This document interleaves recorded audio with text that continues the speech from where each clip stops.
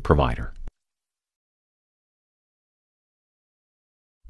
And now, live on Book TV from Hillsdale College in Michigan, it's our monthly in-depth program and your chance to talk with best-selling author Dennis Prager about his books and career. Mr. Prager, who's the host of the Dennis Prager radio show and co-founder of Prager University, is the author of several books, including his two most recent, Still the Best Hope and The Ten Commandments. Book TV is now live from Hillsdale College in Michigan.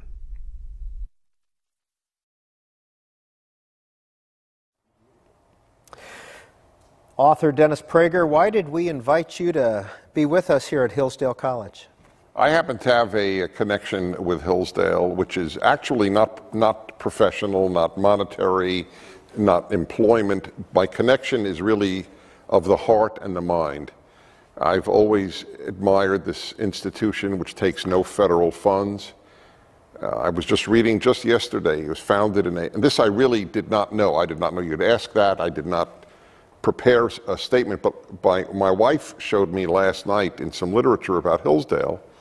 It was founded, I believe, in 1844, and one of the first universities in America to admit uh, blacks and women.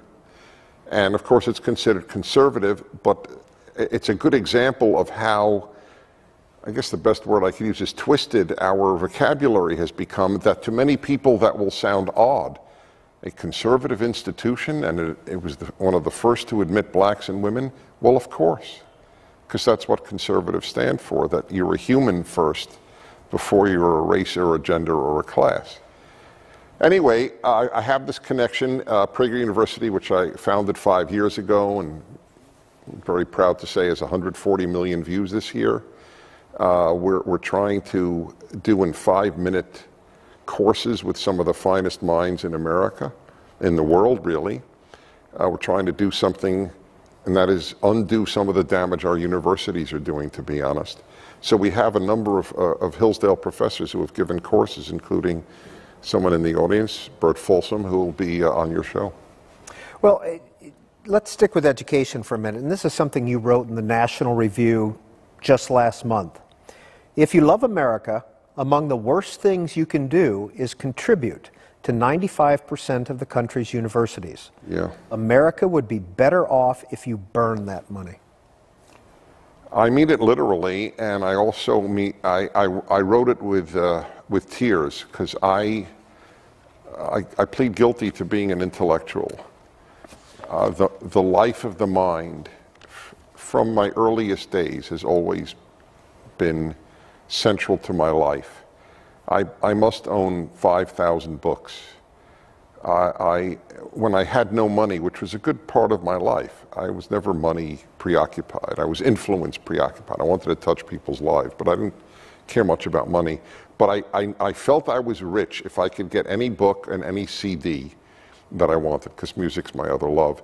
And, uh, and, and that was the best. And I, and I, from high school on, I just bought books. I, when I, to this day, when I hear so and so is a professor of history, I can't help but think, wow. I do. It's my first reaction is wow. What I believe the left has done, not liberals, I love liberals. And I, and I mean, this is not a line. Uh, there is a huge difference between liberalism and leftism. The left has taken over our campuses, so it now indoctrinates rather than educates. And uh, as a result, your kid will be taught. For example, your kid will leave college if they took any humanities courses. Uh, they will leave believing the two greatest villains on earth are the United States and Israel, two of the greatest countries in the world. That is so twisted. The moral compass is so broken. Uh, even intellectually, it's uh, broken, not just morally. I live in California, I live in, in Los Angeles. At UCLA, you can get a BA in English, a BA, without having read one Shakespeare play. Because multiculturalism, the notion that all cultures are equal, has taken over the universities. So why would you concentrate on dead white European males? Do I, I know we have so much time. Can I develop this thought more? So I, I am very involved in classical music, including periodically conducting orchestras in, in Southern California. So uh, Anthony Tommasini, the chief music critic of the New York Times, a few years ago, had a piece. And it was the 10 greatest composers. So, I mean, I was so, I didn't care who he wrote. I just wanted to know who would he choose, and is it similar to my choices? Well, they were mostly similar, but he didn't include Handel, and he didn't include Haydn. Haydn is only the father of the symphony, the father of the oratorio, well, along with Handel, the father of the string quartet, the father of the piano trio. I mean, the guy is a giant of giants. And he said, Well, I know readers will ask, why didn't we include X, Y, and Z, including Haydn? And the answer is, I just didn't want to take too many Viennese German composers. So instead, he puts Bartok because he's Hungarian and Debussy because he's French. This is how they think. It's, so it's not a list of the 10 best composers, it's a list of diversity, not quality. And that's what you now get at universities. You don't get quality, you get diversity. Why should we study Shakespeare? There are Guatemalan poets who have been neglected. So that's, I mean, I could give you more, and any number of reasons, but those are two examples. Well, does that go to the issue of political correctness? Entirely. That's, even as I, I point out to my radio listeners, even political correctness is a politically correct term. What does political, politically correct mean? It means not offensive to the left. What is the difference, and you mentioned this, what's the difference, Dennis Prager, between the left and liberals? John F. Kennedy was a liberal, not a leftist. Uh, I, was a, I was a little boy at the time that he was inaugurated. He was a hero of mine.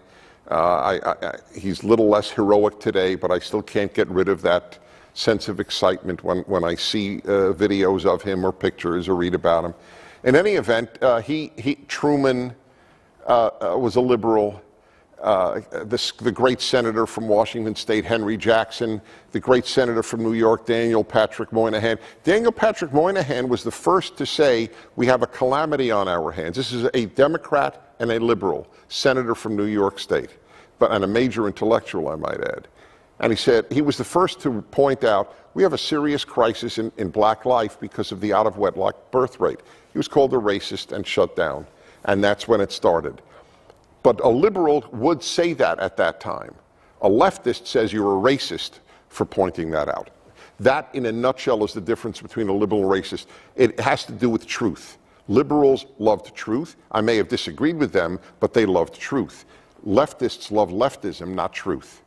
And the truth is, it is a crisis, the out of wedlock birth rate, much more than racist police. But if you say that, you are not considered a liberal, you are called a racist. As I have it, I, I, I have this uh, uh, acronym, SIXHIRB sexist, intolerant, xenophobic, homophobic, Islamophobic, racist, bigoted. That is all a leftist needs to know. They don't need to debate you, and they don't. What they do is they label you one of those things. People are afraid of being labeled those things. I am not, as it happens. And therefore, it shuts down. That's what political correctness means, and that is a creation not of liberals but of leftists. In your book, Still the Best Hope, you write that leftism has become kind of a religion. Oh, I actually believe that the most dynamic religion, this, if, you, if you understand this, I think you understand the world of the last century. In the last 100 years, the most dynamic religion in the world has not been Christianity, has not been Islam, has not been Mormonism, it has been leftism. It has taken over the world's education, the world's media, the world's news media, the world's entertainment media. It has taken over virtually everything. It is it, it's so much so, I believe, and I wrote this and I backed it up with, with facts, I think. Uh, uh, Pope Francis has Catholic theology, but his value system is leftism. He has deep antipathy to capitalism, the only thing that has ever raised people from poverty, the only thing that ever has, and said on uh, last month, this was mind, mind-blowingly sad, because if we lose the Catholic Church, I don't mean Catholics, got a tremendous number of great Catholics, but if we lose the church, we've lost a pretty important institution to the left. Pope Francis said on his airplane to a, a, a, a reporter for a French Catholic news service, he was asked about the priest who had his throat slit in France. It had just happened. And he said, Look, I'm paraphrasing, but it's pretty accurate. Look, we have in Italy, we have people baptized Catholic who kill their girlfriends. Are we going to say Catholics are killers? So, like, there's no issue that a man saying Allahu Akbar cuts the throat of a, of, of a priest. That's the same as a guy who happens to be baptized Catholic who kills his girlfriend. This is from the Pope of the Catholic Church. That's leftism, not Catholicism. What's your definition of conservatism? You wish to conserve the best of the past. I mean, that's the broad definition for uh, that transcends the United States. Within the United States, it is an affirmation of the American Trinity, as I have come to call it. The American Trinity is found on every coin and banknote. Liberty, e pluribus unum, and God we trust. That, if you conserve those three, you are a conservative. Is there a libertarian streak in conservatism? Streak, but not dominant characteristic. Uh, first of all, libertarians are as secular as, uh, I mean, I'm sure there were religious libertarians, but uh, uh, this is a, a part of the crisis in conservatism is, in fact, the greatness, and they are great. I use them for PragerU videos. I bring them on my show. I advocate their works. I read them and I learn from them. But the great majority of the great conservative thinkers today are all secular they don't realize the, the uh, indispensability of God. And I don't speak as a man of faith here. If I were an atheist, I would say what I'm saying. America will not survive without God, not because God will crush America. I don't believe in that talk. It will because you can't have small government without a big God. People will either be responsible for their behavior to God and religion or to the government because people are not basically good, which, by the way, is the fundamental difference, or a fundamental difference between left and right. We on the right understand people are not basically good, people on the left are naive. They believe people are basically good. The, the overwhelmingly most foolish belief a human can hold post the 20th century bloodbath. So we understand that uh, how are you going to have a good society given the flaws of human nature? Well, people will either be responsible for their behavior to God. Before I was born, throughout American history, the highest compliment you could pay a, to a woman or a man was, This is a God fearing man, a God fearing woman. If you said that today to a college kid, they wouldn't know what you're talking about. They would think you had popped out of a movie set or out of a time capsule. God fearing? What the hell does that mean? But that's what was understood. So either you're God fearing or government fearing. The founders, including Jefferson, including Franklin, knew that. And therefore, they understood without religion making people better, the government will get bigger and bigger, and American liberty will die. That's what's happening. Before we get too far from education, since we're here at Hillsdale College in Michigan, this is from your book, Think a Second Time.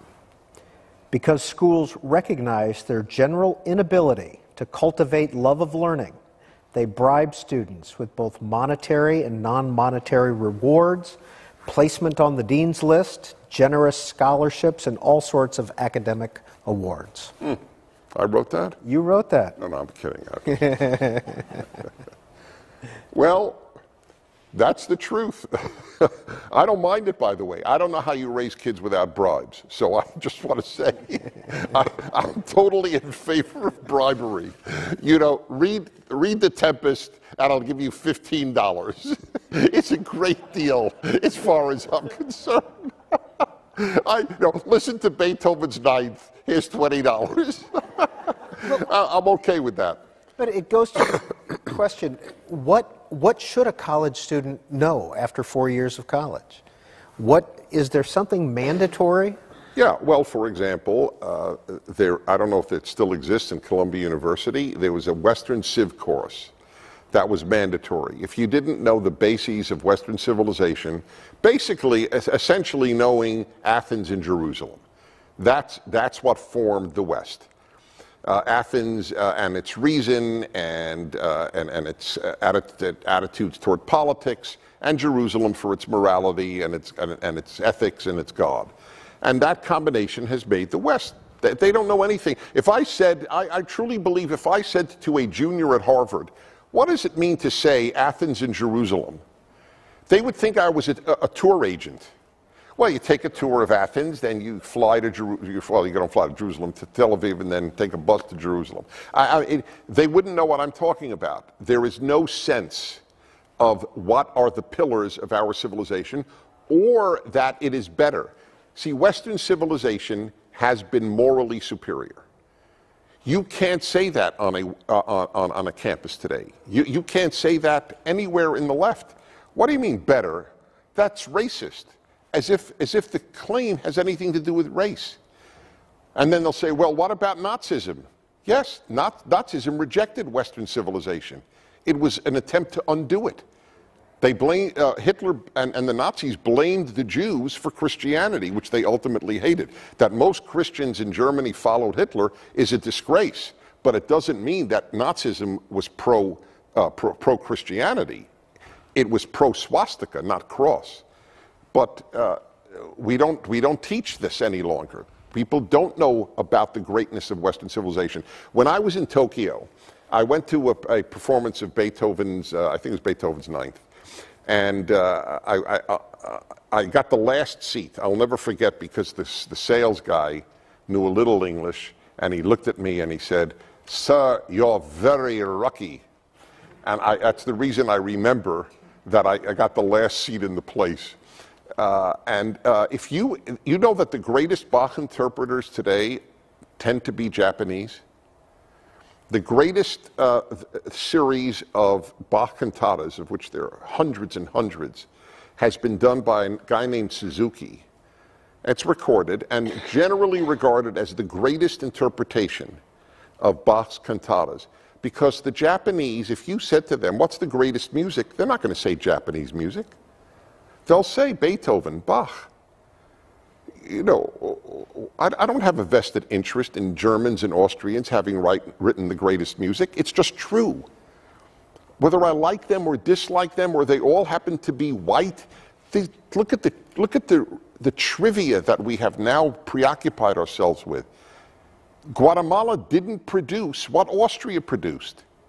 Just like, by the way, I say, and I can say this because I'm a Jew, so you can't yell at me as being self aggrandizing. The United States of America became the greatest country, and it was founded by Protestants. Not Catholics, not Jews, not Muslims, not Buddhists, not atheists. It was founded by Christians. That's a fact. And if we get rid of Christianity, we're going to get rid of America. This is a Jew who goes to synagogue every Saturday telling you this. Dennis Prager, what is the Torah? The Torah, the five books of Moses, they are the basis of everything that the West is really founded on. I mean, when you think of the creation story, Adam and Eve, Noah, uh, the, uh, the patriarchs, uh, Moses, the Ten Commandments, it all comes from the Torah. Uh, I'm glad you asked because I am now feverishly working on my, the end of my 35 year project to write uh, a, an explanation of the Torah and why it is relevant to everyone, including people born in Tibet. It will be a, an, an explanation of the greatness of, that, of those five books, be at least a thousand pages. I am working on it every, every free moment of my life. And uh, it is, it, that those five books are from where we get love your neighbor as yourself as an example but i will deal with the hard parts. It says if you have a rebellious uh, son uh, bring him to a court and and uh, they will stone him. So everybody looks at a sentence like that and says you believe in this 3000 year old nonsense? But the, it's 3000 years old but it's not nonsense. And by the way i'll just answer that verse that verse actually, for the first time in human history, said to parents, You can't kill your child. The verse was actually brilliant because until then, you could do whatever you wanted to your child. It took it out of the hands of parents and gave it to a court. and no Jewish court in history ever executed a child. Your most recent book is on the Ten Commandments, still the best moral code. Are they transcendent as well? Oh, uh, if they're in their source, yes. If ultimately, and I explain that, there are 10, it's the book is out and the 10 videos at Prager University. Uh, and I explain if they ultimately, it says right before the Ten Commandments are given, it says, and these are the words that God spoke. If God doesn't say do not murder, murder is not wrong. I have spent my life explaining that Every atheist philosopher I have debated, including at Oxford, has acknowledged that that is true. If God, because ethics are subjective if there is no God. What are the Ten Commandments in order? Okay. Well, I'm going to give the Jewish order because it's, it's, they both have 10, but the Jewish and Christian order is slightly different. But the Jewish order is I am the Lord your God who took you out of Egypt. Do not have any other gods, is two. Do not, and I explain, it is not do not take God's name in vain. It is do not carry God's name in vain. I can explain that if you'd like. Keep the Sabbath, honor your parents, do not murder, uh, do not commit adultery, do not steal, uh, bear, do not bear false witness, and do not covet what belongs to your neighbor. It, do, what's the explanation? On, on the third one? Yes. Uh, uh, people have this completely wrong, and that's one of the reasons that I am so adamant about getting this commentary out on the Torah. People think that the commandment is do not take, do not take God's name in vain. By, uh, by the way, it ends because God will not forgive whoever takes his name in vain. It's the only commandment that God says he will not forgive. And what do people think it means? It means if somebody says, Oh my God, what a crappy day at the office. Or, oh my God, did you see what that shortstop just did? They think they're violating this commandment and if they're serious, that God will not forgive them. So he'll forgive murder, but not if you say, oh my God, what a home run. So let me offer a very, very uh, upsetting thought to many religious, fellow religious people. God has common sense. This is an utterly, it's a, it's a complete revolutionary thought to many religious people who have the most crazy ideas about what God actually believes. So God, I mean, God cares if you say, oh my God, what a home run. You think he's bugged by that? It doesn't mean that. The Hebrew, and I know Torah Hebrew like I know English, the, the Torah Hebrew is lo tisa, which means do not carry. Do not carry God's name in vain has nothing to do with saying it in vain. It's carrying. And who carries God's name in vain? The person who acts religious and does evil. Therefore, that is the only sin God will not forgive, doing evil in his name. That makes sense. From your book, The Ten Commandments, today we have as many false gods as the ancients did. Yeah. What does that mean? Well, we do. Uh, I mean, the, remember, false gods is a very touchy subject because you don't like to mess around with people's gods. See, the first thing, again, people think, oh, name a false god. People say money. Money is not a false god. Nobody, no one contends that the worship of money is good. So it may be a god, but nobody believes that it's a god. I mean, people may live for it, but nobody contends it's worshipable. worshipable. So that's not a false God. It's, an, it's, a, it's a terrible value system to live just for money, but it's not a false God. You want a false God? I'll give you a false God. Uh, the earth, nature. Nature is a false God. People today worship nature. The whole point of Genesis 1 is that God is the author of nature. God is to be worshiped, not nature. It's the whole point of Genesis, the chapter uh, of uh, 1 in Genesis, and that we are to conquer nature. Because if we don't, nature will conquer us. This notion that uh, nature is wonderful and we humans are a blight on it, well, eh, nature is not wonderful. Animals kill animals routinely. Cancer spreads, earthquakes are all around. This, we have to subdue nature to make a good life.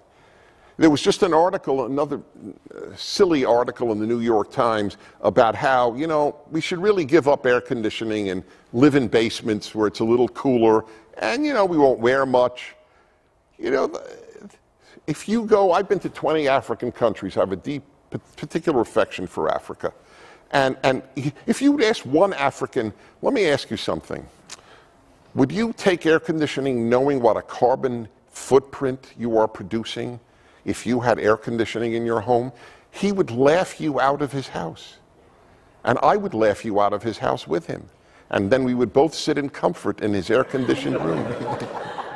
we would laugh in comfort. The whole Southern Renaissance in the United States was made possible because of air conditioning. But people, you know, Gaia, goddess Earth, I mean, people believe this stuff.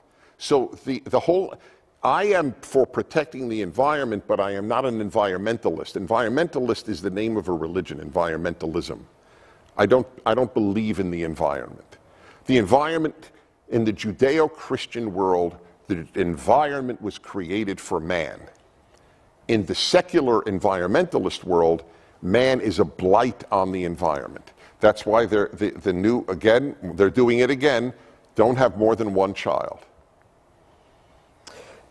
Back to the Ten Commandments, still the greatest moral code book. The history of the human race has not been morally impressive. Yeah, that's right. Uh, it, it, it's only ignorance or wishful thinking that could lead you to any other conclusion. Uh, take slavery.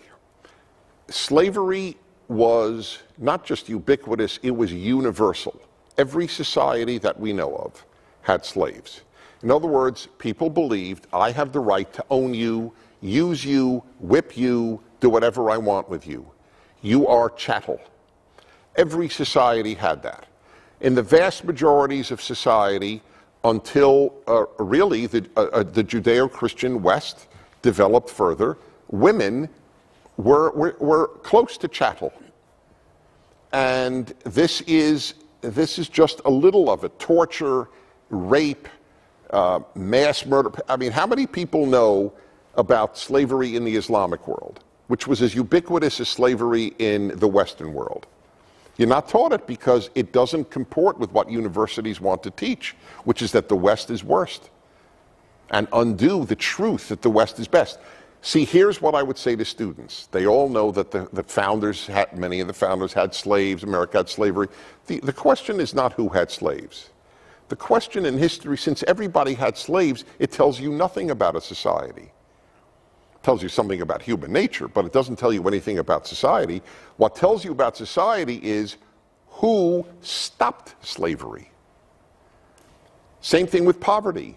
The question in history is not who's poor. Everybody was poor. The question is, did anything ever uplift people from poverty? Yes. And the answer is the West again. And what in the West? Capitalism. Socialism has never made anybody rich except for the socialist parties. Nobody gets rich from socialism. Socialism spends what capitalism makes. Good afternoon and welcome to Book TV on C SPAN 2. We are live at Hillsdale College in Michigan talking with author, radio talk show host, and professor Dennis Prager. He is our guest on this month's In Depth. This is a chance for you to get to know one author, his or her body of work, and to call in, text in with your questions. Dennis Prager is the author of these books The Nine Questions People Ask About Judaism is his first book that came out in 1986. Think a Second Time, 1996. Happiness is a Serious Problem, 1998. And then Why the Jews? The Reason for Anti Semitism came out in 2003. His bestseller, Still the Best Hope Why the World Needs American Values to Triumph, came out in 2012 and his most recent book just came out last year, The Ten Commandments, Still the Best Moral Code. Now, if you want to participate in our conversation this afternoon, there are several different ways of doing it. First off, we're going to put the phone numbers up on the screen. 202 is the area code for all of our numbers 748 8200 if you live in the East and Central time zones, 748 8201 for those of you in the Mountain and Pacific time zones. You can also text in a question. Now, this number is only for texting, not for phone calls. 202 838 6251. That's 202 838 6251. You can go ahead and text in a question or comment for Mr. Prager. If you would, put your city and your first name so we can identify you that way. Couple more ways to get a hold of us. These are all social media. BookTV at cspan.org is our email address. We also have a Facebook page, lots of comments already on there. Facebook.com slash BookTV. And finally, Twitter. At BookTV is our Twitter handle. You can make a comment there as well. We'll begin taking those calls. And we're also going to hear from our audience here at Hillsdale College, so if, especially students. But we have a microphone here. Once you get a question, you want to say something, ask Mr. Prager something, just come right up to the mic and we'll work you right in. So don't be shy about that as well. And we'll begin those in just a little while. Mr. Prager, August 1969, a train in Finland. Mm. What happened? Well, I, uh, I, wow, you did read my stuff. Uh, I, I was 21 years old, and I had, uh, I was beginning my intense travels. I've now, this is the only thing I boast about, and I, I totally acknowledge it's, it's bragging, 100%. I have been to 128 countries. It was a dream of mine since high school. I want to see every country in the world. So I'm, I'm on my way. Anyway, uh, uh, before I married, uh, I traveled alone, which is, is, in and of itself a fascinating thing because uh, although it's much more pleasant to travel with my wife, uh, there is a uniqueness to traveling alone that subjects you to far more uh, fascin- it's not fascinating, but you, actually funny experiences because you have to interact with the culture. But anyway, that's another subject. What happened in Helsinki in August? Uh, it was uh, it was actually the weekend of my birthday. I remember it. And uh, this is what happened. But I, I got to give you a little background about my religiosity. I was raised an Orthodox Jew. I went to yeshiva, which is intense Jewish Orthodox learning. You go from 9 a.m. to 5 p.m. every day. In one of my schools, that included Sunday. That's how intense it was. Half the day is in Hebrew and Jewish studies, and half the day is in English secular studies. So I have, in effect, rabbinic training. I never chose to be a rabbi. Uh, but I was always, uh, uh, I always challenged myself. And when I left my parents' house at the age of 20 to go to study in, in Europe, uh, I decided, because I never wanted to do this in, in their presence, because I never wanted to hurt them. Uh, uh, I decided I am going to experiment with dropping all of the Jewish ritual law not the ethical law, I wasn't going to hurt people, but for example, kosher, which is a big deal if you grow up in that world. So I dropped everything, and I dropped the Sabbath. And uh, one night, I came down from Lapland to Helsinki, and it was a Friday night. And uh, when I arrived in Helsinki, I, I saw a sign that said it was Friday and the date. And it hit me wow, this is, uh, this is empty. I don't want Friday night to be like Thursday night or Wednesday night or Tuesday night or Monday night or Sunday night. I want it to be my Sabbath. And I realized then how much I missed it. I didn't go back to full orthodoxy, but I, I and I do things on the Sabbath that an Orthodox Jew wouldn't. But I, uh, for example, I drive to synagogue. Orthodox Jews don't don't drive on the Sabbath. But uh, I uh, I realized then taking 24 hours a week out of normal life was was going to keep me sane. And it has to this day, to the point uh, that I'm, I'm on frequently on CNN, for example. So they already know if they invite me for a Friday evening, they check when the sun sets in Los Angeles. it's very adorable, actually.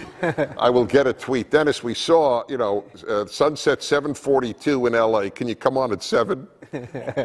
so, so, and it's very sweet of them. And the, uh, I've only gotten respect for the fact that I don't broadcast for uh, on the Sabbath, for example. Uh, and you know, sometimes it's hurt my career, but it, it's it's like a non-issue to me. Uh, it's in the Ten Commandments. Uh, I take it seriously. From your book, Why the Jews? When non Jews understand Jew hatred, they will understand that hatred of the Jews serves as mankind's early warning system of great evil. It's just true. It's not, uh, you know. Said earlier, it's Christians who founded America, not Jews. Jews have played a wonderful role in many ways, and, and so have many others. But I'm a big fan of truth. This is a truth. I'm not saying this because I'm a Jew if non Jews don't understand that those who hate the Jews or the Jewish state are, an, er, are bad, they're bad people. And they're coming for you next. Had non Jews understood this, about 50 million non Jews would not have been slaughtered in World War II. But Hitler was dismissed as the Jews' problem. Okay, he was the Jews' problem, but he wasn't only the Jews' problem. And, and uh, Israel hatred is the exact same thing. I don't mean criticism of Israel. Everybody's free to criticize all they like, anybody they like. But if you, if you come up with a lie, like Israel commits genocide, which is as big a lie as, as, the, as the medieval libel of Jews that they uh, killed uh, Christian children for their blood to bake matzah for Passover, this is as big a lie as that that Israel is committing genocide. The Palestinian population, I don't know, has quadrupled, I think, since Israel was founded. It's like the antithesis of genocide. It's like if you're conquered by the U.S., you do well. look at Japan, look at Germany. Uh, so the, Jew, the Israel haters and the Jew haters are bad people. And if you can't say that, you are a fool and you will be hurt. That's the way it works. First, they come for the Saturday people. This is, this is a Islamist rhetoric. First the Saturday people, then the Sunday people. Where does anti Semitism spring from? The Jews uh, introduced the world to a universal judging God. People have been pissed at the Jews ever since.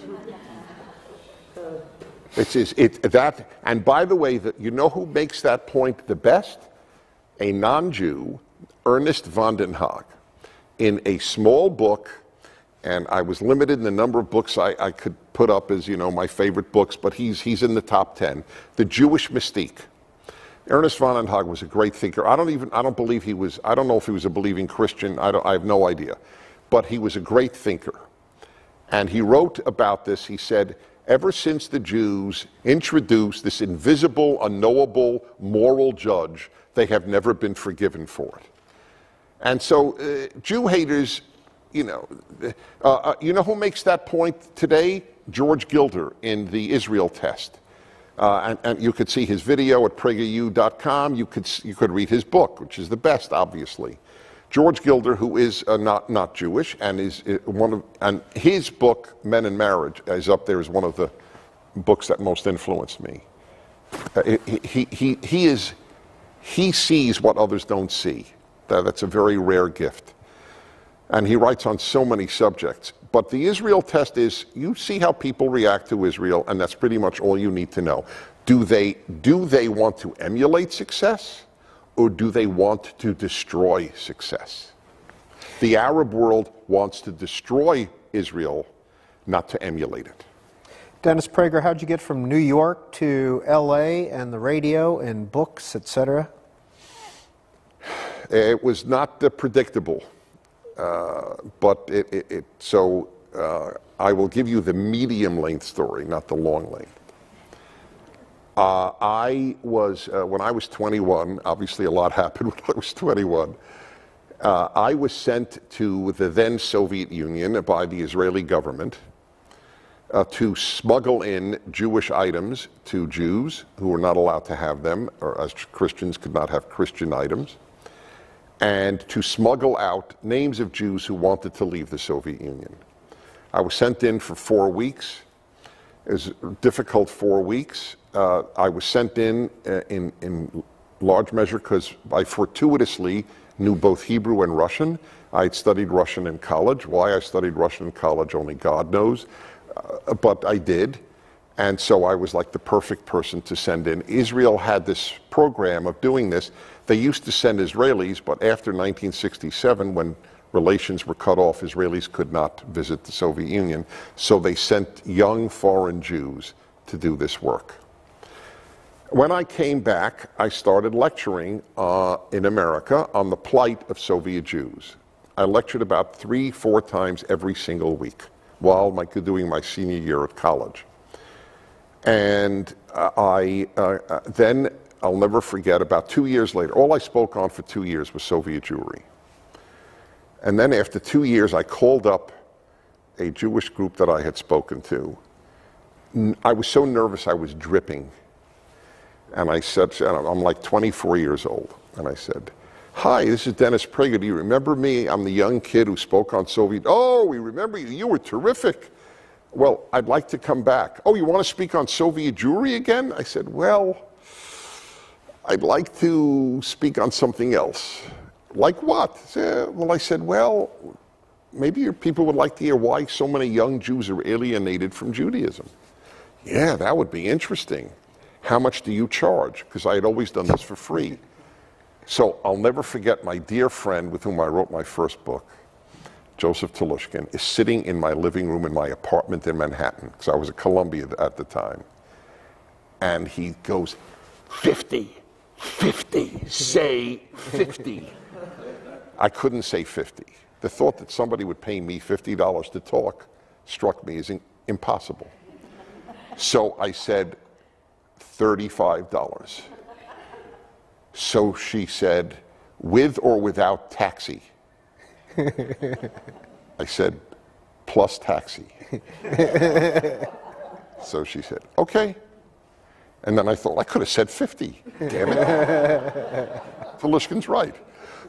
so, that, so I began a very wonderful speaking career, only in Jewish life. My, my life was very, very uh, professionally and every other way in Jewish life. Uh, I didn't. I wanted to broaden it. I didn't know exactly how, but I, I, I knew I wanted to talk to everybody. This was built into me uh, from my childhood when I would interview the the, the mailman because he wasn't Jewish. I really, I would sit there and I go, "Tell me about your life, sir," because all I met were Orthodox Jews. It was this, it was this bold Brooklyn world, and I, you know, I wanted to be in 128 countries. My hobby was shortwave radio you know, I was writing letters to Radio Congo. So I, I, I, felt that I was a little somewhat in an insular world and I wanted to break out. But anyway, doesn't matter. So uh, what happened was I got the name as this lecturer in Jewish life. The word got to this great man, may he rest in peace, Dr. Shlomo Bardin in California, who ran uh, an institute called the Brandeis Institute, named after Judge Brandeis, who actually helped found it and it was a retreat center for Jews in, in California on 3,000 acres in Simi Valley, California. And I was the youngest man he ever would invite to speak there. But he wouldn't do it based on my reputation. He flew to New York, to the Bronx, to hear me give a lecture, to see, am I going to bring a 25 year old? I bring 50, 60 year olds to lecture at this institute. And he was impressed. He brought me, I became the director of that institute. Uh, people heard me uh, speak at this institute in California, gave my name to ABC Radio in California uh, to try me out on the air. I, I passed their test. I became a, a, a talk show host. And, the, and then I got national, and that's, that's, a, that's how it happened. Where can people hear the Dennis Prager Show today? Well, really all over the country. And if your city doesn't happen to have, most cities do have my show. But if your city doesn't, there's a Dennis Prager app, there's DennisPrager.com. There's Pragertopia. You could download the show for $5 a month. This is not an ad. I'm just being honest. I don't want to imply it's free uh, uh, and uh, without commercials. A lot of people do that. But you can hear it just by going on the internet. Uh, I, I, I do try talking about my radio show, which is now 33 years, consecutive years. I do try to talk about everything in life. If there's anything that distinguishes my show, that is it. I don't only talk politics, because I'm not only interested in politics.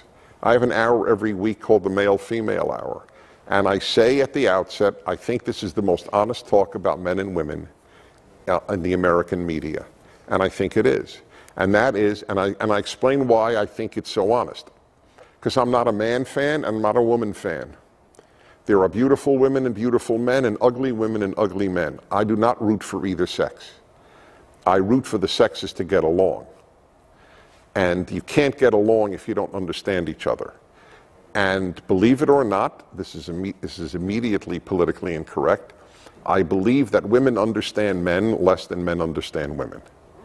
Because we are uh, trying to understand a man for a woman is somewhat like trying to understand an orangutan if you are human. Uh, the, the, the, uh, it is somewhat literally accurate. Uh, that is how different, especially male sexual nature is. And uh, I try to explain it. And I do. And, and my favorite letters or calls or people live say, You saved my marriage. It touches me deeply. And I get that a lot. I got a call from a woman in Brazil because you heard on the internet. She said, I just want you to know I live in Sao Paulo and you, uh, you saved my marriage, Mr. Prager. Your male female hour. And uh, that means a lot to me.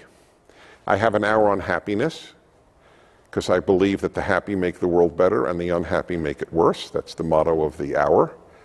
And that you have a moral obligation to act happy even if you don't feel it. That goes to the core of my beliefs about life. I don't give a damn about your mood. I only care how you act.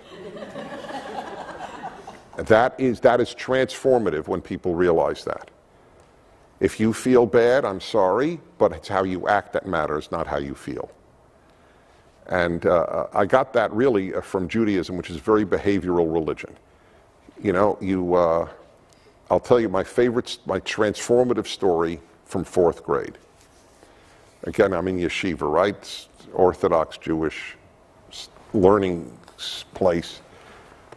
One day the rabbi announces, okay, boys, because uh, the boys are obligated by Jewish law to pray three times a day, the girls are not. And uh, says, okay, boys, time to daven mincha, time to uh, do the afternoon prayer.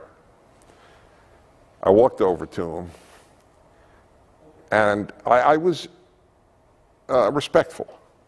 I said, uh, Rabbi, uh, Rabbi Fosdag, uh, uh, I'm sorry, but I'm not in the mood to daven mincha, to do the afternoon prayer. So he goes like this, you know, the classic, you know, with his beard, and closes his eyes. And he goes, Dennis Prager is not in the mood to daven mincha. So what? he changed my life. That was, that was truly, and I have changed others' lives thanks to him. So what? You're not in the mood to go to work that day? So what? By the way, I did write a column to give you an idea of how forthright I am. I wrote, I have a syndicated national column every week. At the end of the year, I do not write political or philosophical, I write personal columns the end of a year, about 10 years ago, I wrote a two part column when a wife is not in the mood, based on Rabbi Fostag's response to me. So what? Uh, Dennis Prager, have you ever been called intolerant, sexist, racist? No, interestingly, I, on that article, uh, the Daily Kos, a left wing, a big left wing site, said Dennis Prager advocates marital rape which my, my wife found fascinating. Uh, this was news to her, let's put it that way. and uh, I don't, it's funny how these things don't bother me. They're so absurd. It's as if I would say, that, you know what, Peter, you are a halibut. And I don't think that you would lose sleep. Saying I advocate marital rape is like saying I am a halibut. So therefore, it has no impact on me.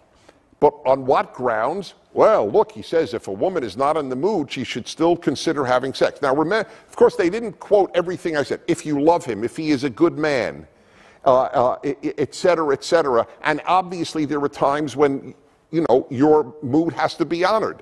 Nevertheless, it shouldn't be the only determinant on whether you have sex with your husband. That's what I said. Uh, because of the because men translate their wives having sex with them as I love you. That's it.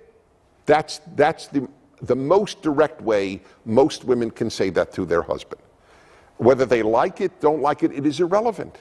I give you a birthday gift that you like, not that I like.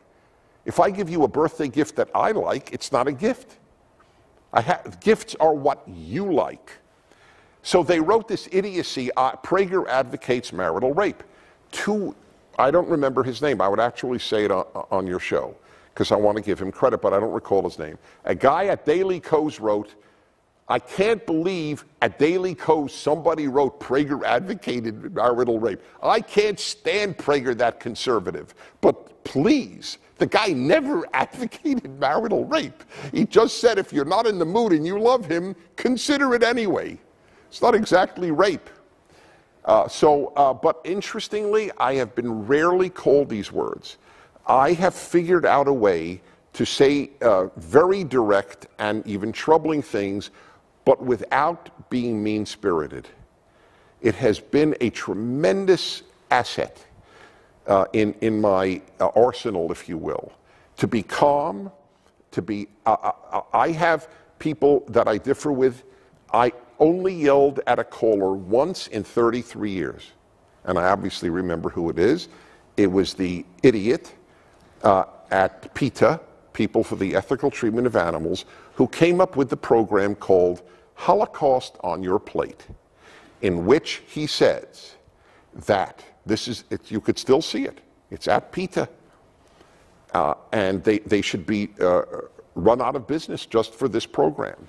There is no difference between the barbecuing of a billion chickens in America and the uh, cremating of six million Jews. Barbecuing a chicken and cremating a Jew are morally identical. By the way, that's inevitable. If you believe animals and humans are equal, their position is completely correct. And by the way, it wouldn't matter if it's Jew if they said cremating Armenians or cremating Ukrainians. It's the same, same, same thing, obviously. What's the genesis of your book, Think a Second Time? Well, the, the title was uh, Harper Collins, the publisher of that book, came up with the idea that, Dennis, that's that's your signature sign off on your TV show. I had a TV show that lasted about six months. Uh, it was a great show, by the way. It should have lasted forever. but uh, TV and greatness are not synonymous. So uh, it was. It was entertaining, but it was important. And, and I, I, I, didn't do trivia. Well, at least not much trivia. But uh, in any event, my sign off line was I'd look at the camera and I'd say, Well, I hope I made you think a second time.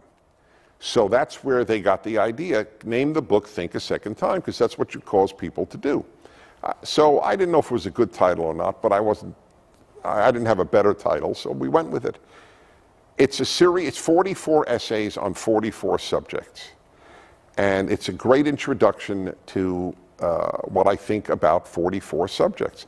I mean, I know that my essay on capital punishment in there has turned people around uh, to be for capital punishment because I answer every single anti-capital punishment argument, and it's only it's not uh, it's, it's a few pages. There's of course an essay on why it is so wrong to think people are basically good. So it's a lot of basic stuff. How do you believe in God after the Holocaust, and all sorts of other stuff. Well, to, to what you just mentioned, uh, here's a quote from that book. The belief that people are basically good is one of the most widely held beliefs in contemporary society, yet it is both untrue and destructive. Yep. My guess is that most people listening or watching or sitting here today right. probably think they're basically good people. Yeah, whether they're basically good is irrelevant to the point is the human being basically good. I think there are wonderful people on earth. I don't think everybody's bad, but human nature is, is not basically good. In order to be good, you have to fight your nature. It's so obvious. How many times do you tell a child, say thank you? Why don't you just have to say it once? If we're basically good, the child would understand if anytime anyone does something nice to me, I must say thank you. But a parent tells the average parent, I am sure, has said say thank you 10,000 times. If we were basically good, once would work. If we were basically good, you wouldn't have to tell them. Because gratitude would be so natural. Politeness. Say please. Say thank you. Don't hit your sister. right? Does, has anybody ever said to a kid at a party, you know, you're sharing too many cupcakes? It's, you have to go to college to believe something that stupid. That, that, no, no, that, that is a basic, no, no, I'm sorry, I'm sorry. It does not include Hillsdale, not because we're here. No, no, no, no, but because Hillsdale wouldn't teach such nonsense. It's just, it's, it's, it's basic. But the vast majority of colleges make you stupider. I do believe that. It's not a line, it's not cute, it's not hyperbole. There were two ways to avoid, there were three ways to avoid getting stupider at college. In other words, thinking less intelligently than you came in. One is to be drunk for four years, which many students do, and therefore they do not leave stupider. They leave with an alcohol problem, which is another issue, but they don't leave stupider because they didn't hear what the professor said. That is one way. It is not my recommended way. I just want to make that I just want to make that clear to all of you viewing. That is not my recommended. I can't stand alcohol. Okay. But I'm being honest. Another way is to be prepared for the indoctrination of false ideas and foolish ideas you will get at the university. And that is by being prepared intellectually prior to going. And there are uh, uh, not a large number, but a certain number. The third is to only take courses in the natural sciences. You're not going to get stupider if you take botany, physics, biology, and astronomy, because by and large, they don't touch upon, uh, or, you know, things like people are basically good, or that capitalism is evil, or that all cultures are equally the same, because there's truth and falsehood in science. So you're, you or mathematics certainly. So uh, those are the three the three ways. We're trying to make a fourth way, and I, I mean this utterly seriously with Prager University. If you watch, right now we have 140 courses. We come out with one a week, five minute courses. If you watch them and rewatch them, you will be able to intellectually counter what you get at the university. Well, right, and we're going to go to calls here in, in just two minutes, but you brought up Prager University. Um, you've got one on there that says, what should a high, what every high school principal should say. What, what should that high school principal say? Well, uh, th- this is this is very. You'll find this. Fa- I mean, I hope you're finding the whole thing fascinating. Uh, otherwise, you'll feel you're underpaid. But I, I, I, I, this is fascinating. I don't know. 20 years ago, I wrote this. What every high school principal should say. It went viral, and very few of your columns go viral. Videos go viral, but co- anyway, that co- millions upon millions, and then on the internet it was fascinating. You never know how these things happen. Colorado high school principal Dennis Prager gives speech that every high school principal should give. There are millions of Americans who think I'm a high school principal.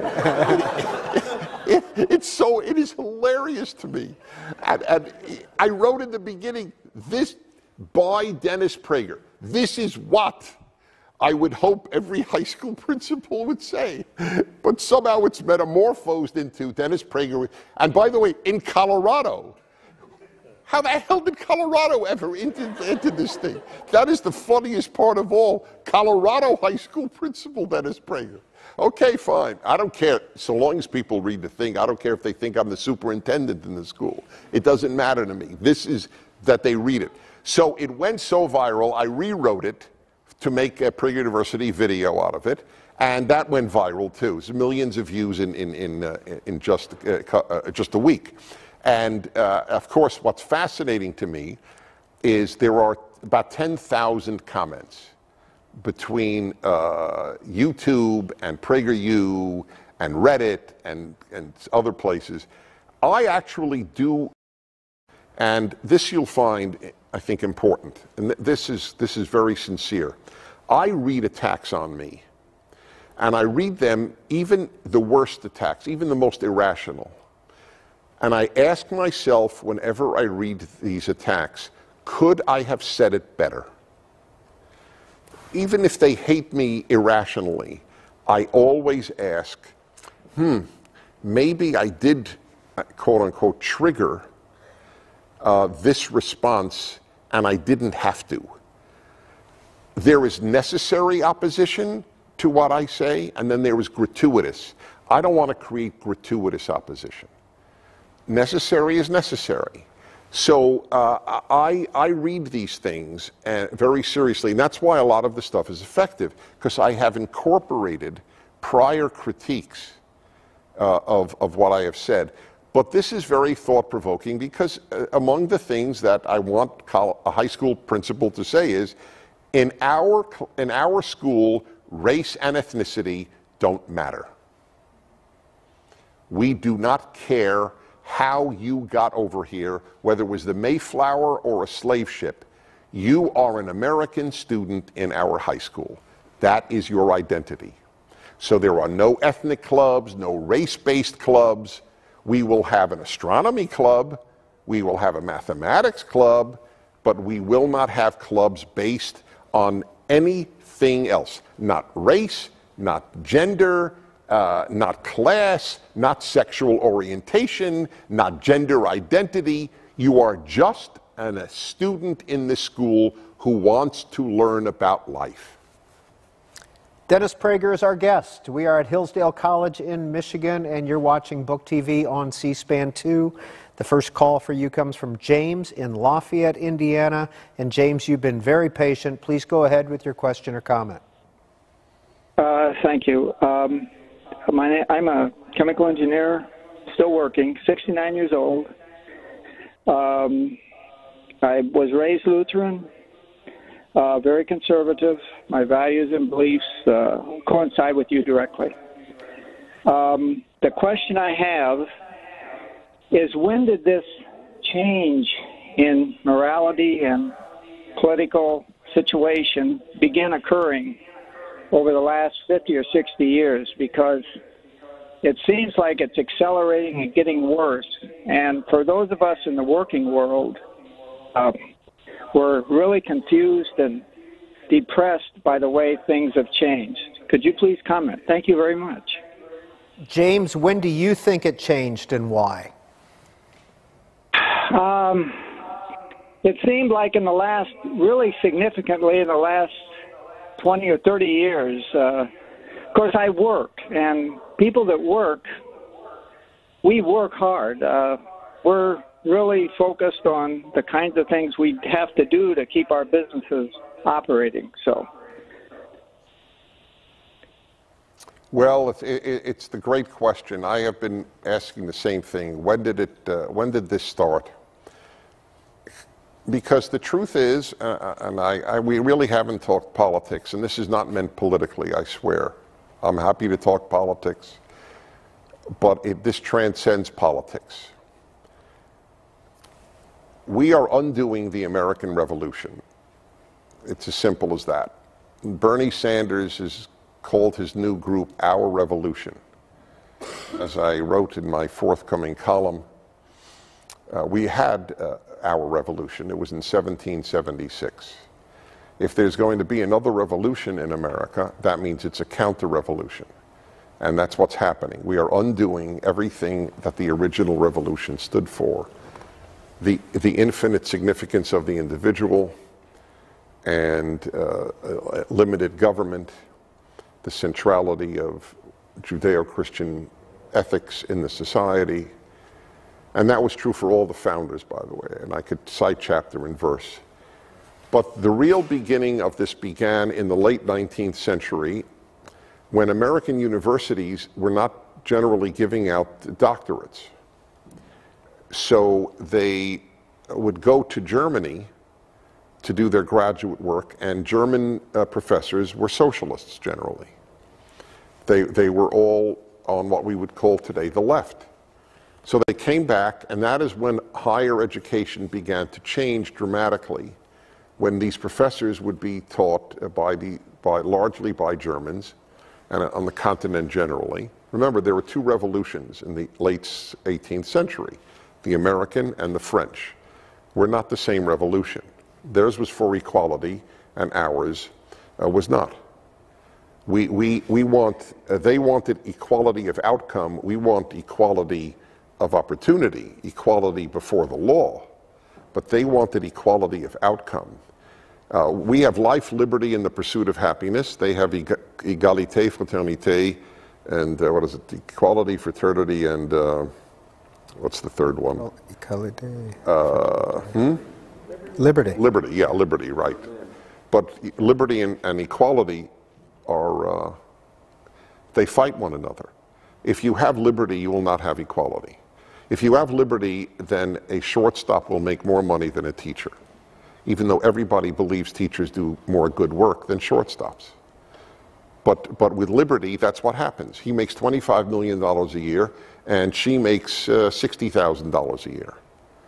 And maybe less, maybe more, but it's still a big difference. That's but so if you but if you want shortstops and teachers to make the same amount of money, you have created a totalitarian state, which is what the French Revolution ultimately created, and Europe and Europe did create through communism and Nazism. Anyway, so when did it start? So it started then. Europe died after World War I. This we are following the European pattern. Europe affirmed God, Europe affirmed national identity. World War I killed God and killed national identity. So, no borders, no national identity, there was nothing to sacrifice for, and there was no God. Secularism is the, is the wave of the future. Then we won't have the butchery and savagery of World War I. So then you had the butchery and savagery of World War II. In America, our World War I was the Vietnam War. That killed national uh, identity in the United States. Look at what we did in Vietnam, uh, which is worthy of its own, obviously, discussion. Uh, but I thought what we did in Vietnam was morally identical to what we did in Korea. And that is, we died to keep a people free from communist tyranny. Period. End of issue. That, that is why we were in Vietnam. We did not want their natural resources, of which there are very few. In Korea, there are essentially nothing. Uh, we, we died in Korea to keep half the people away from the monsters that now govern North Korea. And everybody acknowledges, even the left acknowledges, they're monsters who govern North Korea. So uh, it's been uh, it's been constant since the, the, that's why I said the last hundred years leftism has been the most dynamic religion in, in the world. Nathan is in Old Saybrook, Connecticut. Good afternoon, Nathan. You're on the air. Go ahead.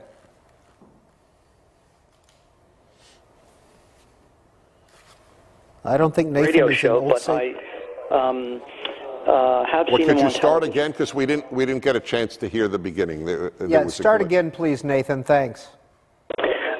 It's a pleasure to uh, to call uh, C-SPAN. Um, I've never heard Mr. Prager's uh, radio show, uh, but I'm uh, from the same generation, and I'm a New York uh, Jewish liberal. And uh, but my question is very much like James's. When when Mr. Prager and I were children. Um, uh, we did not know the political um, persuasion of our teachers at all. Uh, it was not. Um, my grandchildren today uh, know what how their teachers feel uh, politically, uh, but we were not exposed to that, and I would, uh, and it was not considered proper or appropriate in a classroom to for a teacher to express their own political opinion. So, uh, like James, I'd like to know when Mr. Prager think.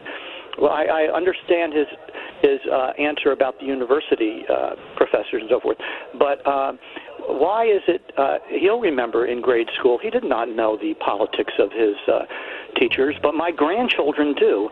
So why? All why right, Nathan. It, let's hear from Dennis Prager on this. No, that's a great. That is a really great uh, question. And again, he's he, he's a liberal, not a leftist. That's he's a, is a good example. That question would not come from a leftist.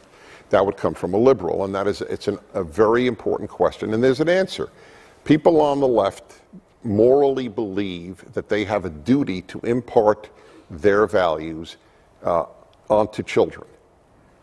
That's it. That the, the notion of being objective. In fact, the New York Times. Oh, oh, oh here, here, this is the Washington Post actually. Dana Milbank, who's a left-wing writer for the Washington Post, very well-known columnist at the Washington, wrote within the last 10 days uh, that he attended, he uh, will or will be attending meetings with teachers of his kids at school. I don't know if it's high school or elementary school. And he will tell them that it is important for them to make known their presidential preference because it is, it, it we, we cannot allow uh, uh, for uh, the election of, of the, the Republican candidate. So, in other words, he's proud of the fact. They're so certain that they are right. Why would they hide it from children? Look, but that's why I say it's a religion. Catholic schools teach Catholicism, public schools teach leftism. That's their duty. That's their duty. That's their moral duty. A- asking a left wing teacher not to impart left wing views is like asking a Catholic priest not to impart Catholicism in his catechism class. All of classes are now, with some exceptions, in colleges and increasingly in high school, are catechism classes. The only difference between a Christian seminary and a, and a college today is that the Christian seminary is honest. We acknowledge we are here to produce committed Christians, but universities do not acknowledge we are here to, to create committed leftists. Holly, Greenville, South Carolina, text message. How can real progress be made in race relations? Uh, there is real progress. It's one of the, it, it is a lie of gargantuan proportions that the races don't get along in America. It is a lie. In 99% of instances of black white interaction in America, everything is fine. It is a non issue. It is created as an issue by the left, the black left, and the white left because without this issue, how do Democrats get black votes? Unless you constantly say that whites are racist and we will save you, we leftists, we Democrats, then they're stuck. See, if if things are good, it's bad for the left. Think about it. It's bad for the Democrats in particular. If women get married, very bad for Democrats. If women get married and have children, even worse. That's the biggest single demographic of women who vote Republican. So it is best for Democrats if women have children out of wedlock. Now, they will not say this. They may not even personally want this to happen. It is simply a fact. If you are a woman who is single and have a child, you are overwhelmingly likely to vote Democrat. If you are a black who thinks that you are fortunate to live in America, that it is a blessing to live in America, that the vast majority of whites are not racist at all, the odds are you will vote Republican. But the, and the more you loathe America and are angry at it, the more you are likely to vote Democrat. This is true for all possible areas of American life. If it's dysfunctional, the Democrats will benefit. It's a tragedy. There is no black white problem in the United States other than that manufactured by black leaders, white leaders, left wing leaders for their own reasons. I live in the same country as everybody else does. I watch like a hawk at airports, at, uh, at restaurants, everywhere, not to mention at my workplace where there are blacks. I watched black white interaction, and I'm pretty sensitive to, to the human condition. And there, the, the, the naturalness is, is total. It is like a non issue. It's a non issue. but it is made into an issue. And the President of the United States, Pre- uh, President uh, uh, Barack Obama, while president, in fact, did this. When he would say Ferguson, this drives me crazy. That's a lie. In Ferguson, the white police officer did not kill an unarmed black kid because he was a racist. He killed him because he was threatened with his life. And blacks on a grand jury and blacks in the Department of Justice exonerated this officer. To say Ferguson as synonymous with police racism is to lie about what happened in Ferguson. Next call for Dennis Prager comes from Andy in Idaho Springs, Colorado. Andy, you're on Book TV and we're listening. Hi there. Uh, Mr. Prager made a statement uh, early, like when I first tuned into the program, uh, about socialism spending the money that capitalism makes. Now, besides the fact that that's in pretty much of a generality and sort of implies a false dichotomy, I would ask, ask him, uh, is there anything wrong with socialism spending what capitalism makes? Isn't that actually how the world, economic life actually works? Thank you. Thank you for the question. First, let me defend generalities. the, without generalizations, a human is an idiot. Uh, it is very important to understand that. The ability to find patterns is what our brain is programmed to do at its best. So if you can't make a generalization, then you can't understand life. Uh, how, how is this? Uh, kids cry on airplanes. How can you generalize? There are adults who cry on airplanes. Yeah, but I fly every week, and I haven't, I haven't heard a, an adult scream on an airplane once. Well, you're generalizing. Yes, because I live on Earth and not uh, at the university. So, therefore, I, I, I, I, I want to just defend, because the gentleman made a point, because I'm, I'm so used to this from a radio show. Oh, Dennis, you're generalizing. Yes, so the question is not, is it okay to generalize? Is it is, is the generalization accurate? That's what matters. And the, the caller acknowledged the generalization is accurate. Socialism spends what capitalism produces. So he asks, isn't that the economic way of life? Yes, that is the way of life.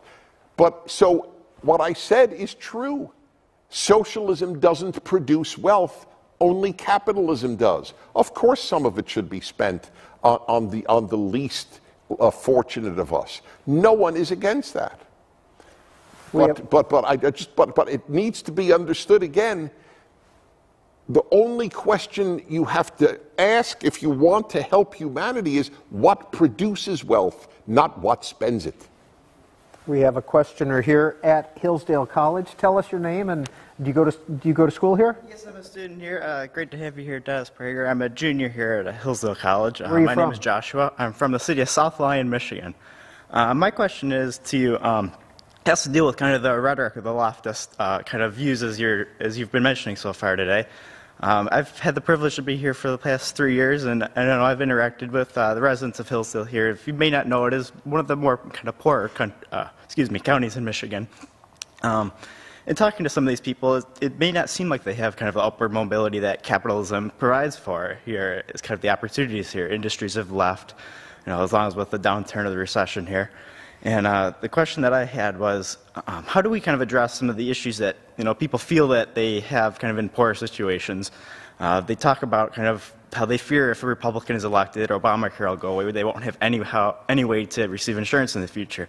Is this possibly a product of kind of the socialist imposing kind of of government or government policies, or is this also rhetoric to the leftist views? Wait, so are you referring specifically to Obamacare or, or a general problem? Specifically Obamacare, a lot of people that I've talked to, they really do fear that, you know, they may not have any options for insurance in the future. But, you know, as we, if Hillary's elected, this may go to education now for their sons and daughters. Well, the, the, the broad picture on Obamacare, and if you, will to, if you wish to include education as well, is is it a good thing? I mean, this is ultimately what this is all, the, the debate of left and right is about. Is it a good thing for the, for the government to be the provider of medical care to its population. The left says yes, the right says no. Uh, the same with everything else. Uh, if, you, if you will, education. Uh, have we benefited by the government taking over education? The left says yes, the right says let's get rid of the Department of Education, or at least it did once say that. That seems to have died. I, I wish we would get rid of the Department of Education and a few other uh, Washington departments. America was founded uh, on the belief that the individual has to make as many choices as possible. When government takes over uh, uh, anything, for example, you really don't know the price. We don't even know the price of medical care now with, with insurance companies. You get a bill, or if you even see your bill, you get an MRI. Does anybody know how much an MRI costs? Do you know that the only area of medicine, I think it's the only area that has really thrived, where prices have come down and quality has risen, is, uh, is um, plastic surgery? And you know why? Because everybody has to pay out of their pocket. And so, just like uh, a car, you negotiate. And just like uh, food in the, uh, if, if, if there's a moral right or even demand for everybody to have health provided for free, why shouldn't we get food for free? That's more, more immediate in terms of, of sustaining us. Because there's nothing free, that's why. And it, it, it is much better if people take care of their own lives and not regard every visit to a doctor as being paid for, even by insurance. We have deductibles. Now, the deductibles in Obamacare are ludicrous, but there are, there are car deductibles. If I get a little dent, I never, I never go to my car insurance uh, people. I pay for it because I don't want my you know, insurance policies to, to go up. Uh, doctors, uh, doctors are now being reimbursed at rates that will ultimately uh, crash the system. They are so low. And more and more doctors are opting out of Medicaid and out of Medicare, and they will just, they are going into what's called concierge practices. You sign up, you give the doctor X amount every month, and the doctor will take care of you for, for as long as you pay up because the system is, is, is so uh, unfair to doctors now. But it sounds good, free, but nothing is free. That was Milton Friedman when he got the Nobel uh, Prize for Economics. They asked him, summarize your knowledge of economics. He said, it's easy, nothing's free. There are no free lunches. Thank you. And Jeff is calling in from Ashland, Oregon. Jeff, you're on Book TV on C SPAN 2 with author Dennis Prager. Go ahead. Yes, uh, it's been a pleasure to hear you, Dennis. I've heard you a few times on the phone, or on the, on the radio, that is. Um, I, I loved what you said at one point on one of your radio broadcasts about humans are not born good; they're not born anything. It, it, from then on, we we find out if they become good or bad. But my father, my dear father, used to say, ironically, that there's entirely too much sharing and caring going on which I always thought was just so uh, so poignant. But I went to school at the University of Oregon during the Vietnam War days, the Kent State days.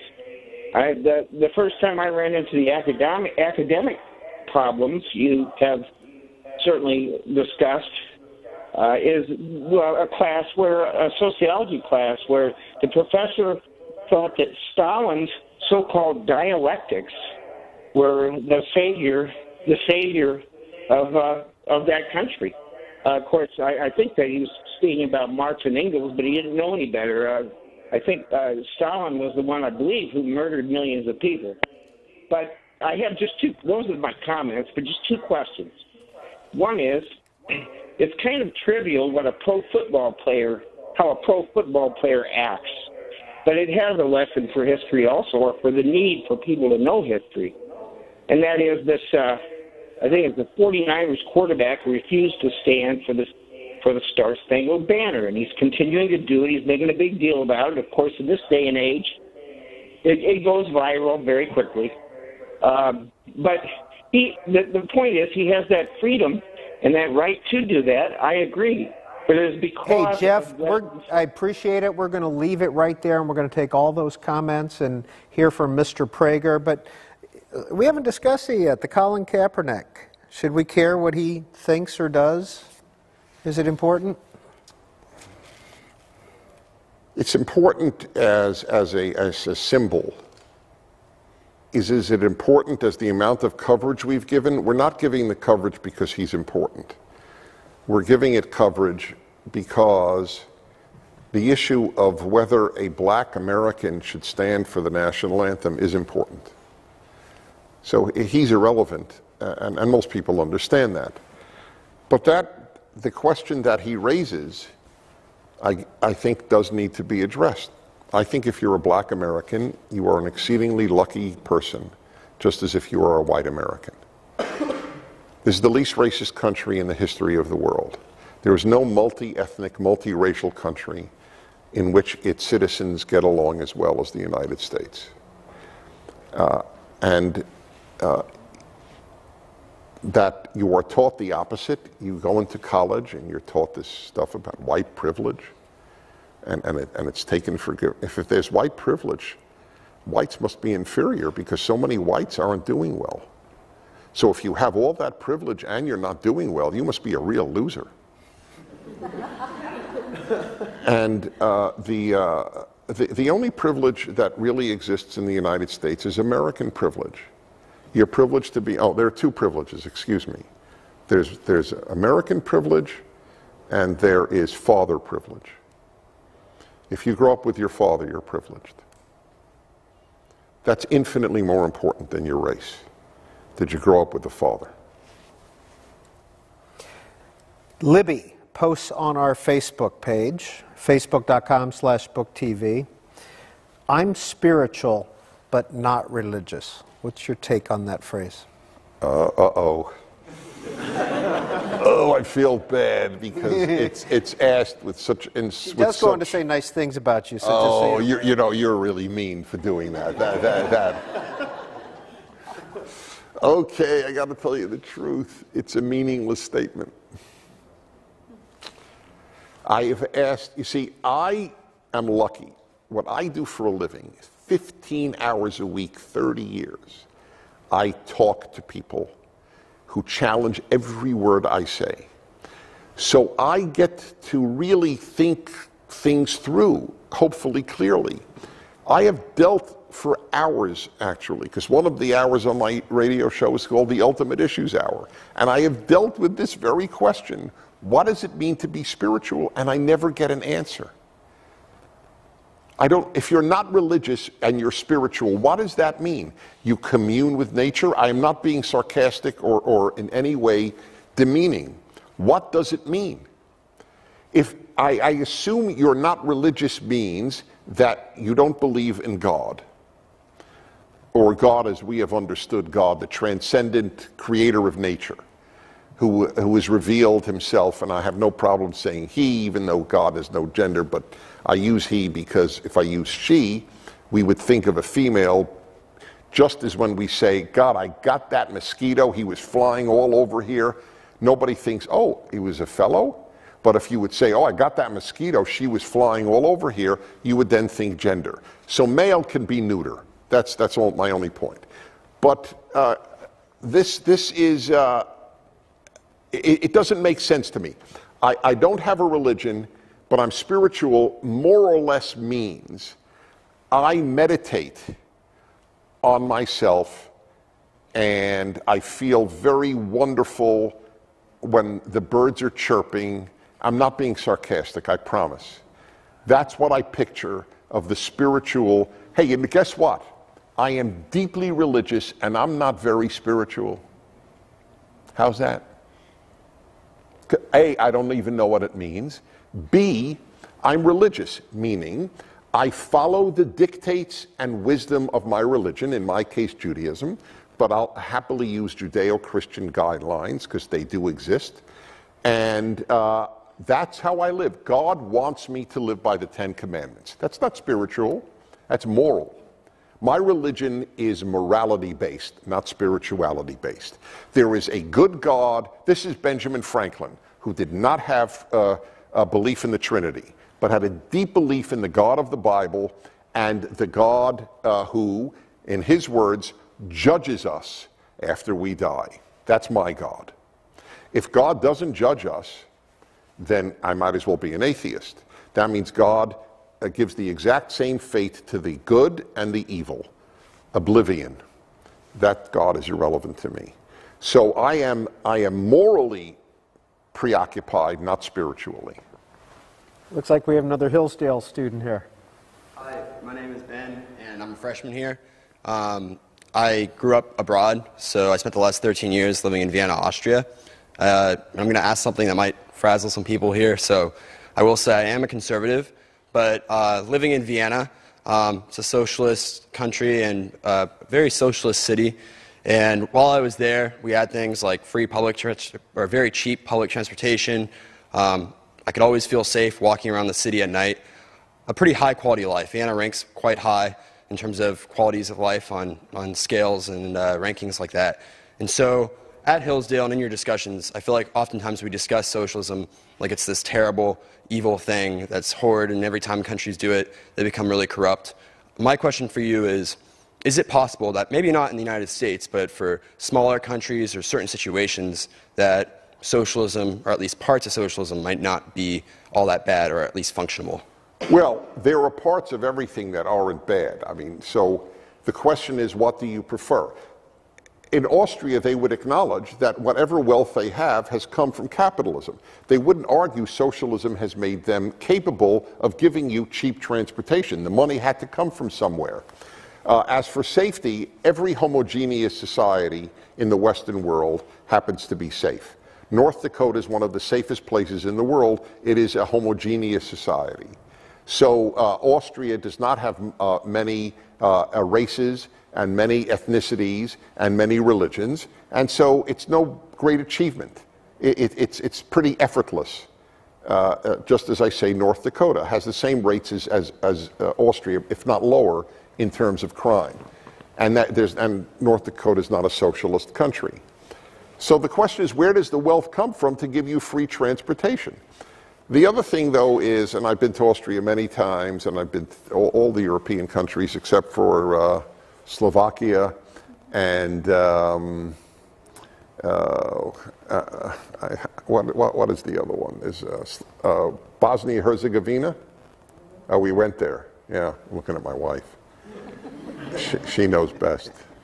Uh, anyway, I've been to all the, and I've lived in Europe, so I understand what you're saying. Uh, you know what I feel when I go to Europe, though, and it's very sad. It's soulless. And, and I'll tell you one statistic that you probably don't know. Americans give far more charity per capita per income than Europeans do. And they volunteer far more time. And you know why? Because Europeans are raised with the socialist idea. The government will take care of your neighbor, you don't have to. Thank you. Let's take another call. And this time we're going to hear from, I'm going to pull this up in just a minute. I'm trying to do this all on my cell phone. Bill in Maywood, New Jersey. Hi, Bill. Thanks for holding your on with Dennis Prager. Yes, thank you, uh, C SPAN, for having uh, Mr. Prager on. It's truly an honor to speak to a man whose radio show is aimed at enhancing the moral and intellectual development of our country. And Thank please you. view Dennis Prager to uh, support that statement. My question uh, to Mr. Prager is Will you kindly convey what the future of America would be under a Clinton administration versus led under a Trump administration? Thank you so much for all that you do for all of us in this country, Mr. Prager. Thank you. It's very kind of you. You know, whenever there's a compliment, there's always a voice in me thinking a but is followed. But there was no but in this case. I could go to Facebook and read some of those buts oh, yeah, no, no. if you'd like. that's why. That's right. It's not paranoia on, the, on my part. I realize it, it, it often does. Well, uh, should, should, you want me to answer ahead. that? I'm yeah. Sorry. Okay. So, uh, look, uh, you know, it wasn't my first choice to get into this, but you asked about it, and it's inevitable. Uh, given all of what I've said about, uh, about leftism in America and in the Western world, that it is, I, I believe that it will overwhelm and, and really crush Western civilization as we have known it. Uh, I fear uh, uh, any Democrat versus essentially any Republican. That is, that is really my bottom line. The Democratic Party is, is no longer a liberal party, is now a left wing party. And uh, look, Barack Obama said it well. He said five days uh, before uh, he was elected in 2008 in five days, we will, or we are five days away from fundamentally transforming the United States of America. And it's honest. He and the left wish to fundamentally transform the United States of America. I don't. And uh, Bernie Sanders, is, as I said earlier, started this movement called Our Revolution.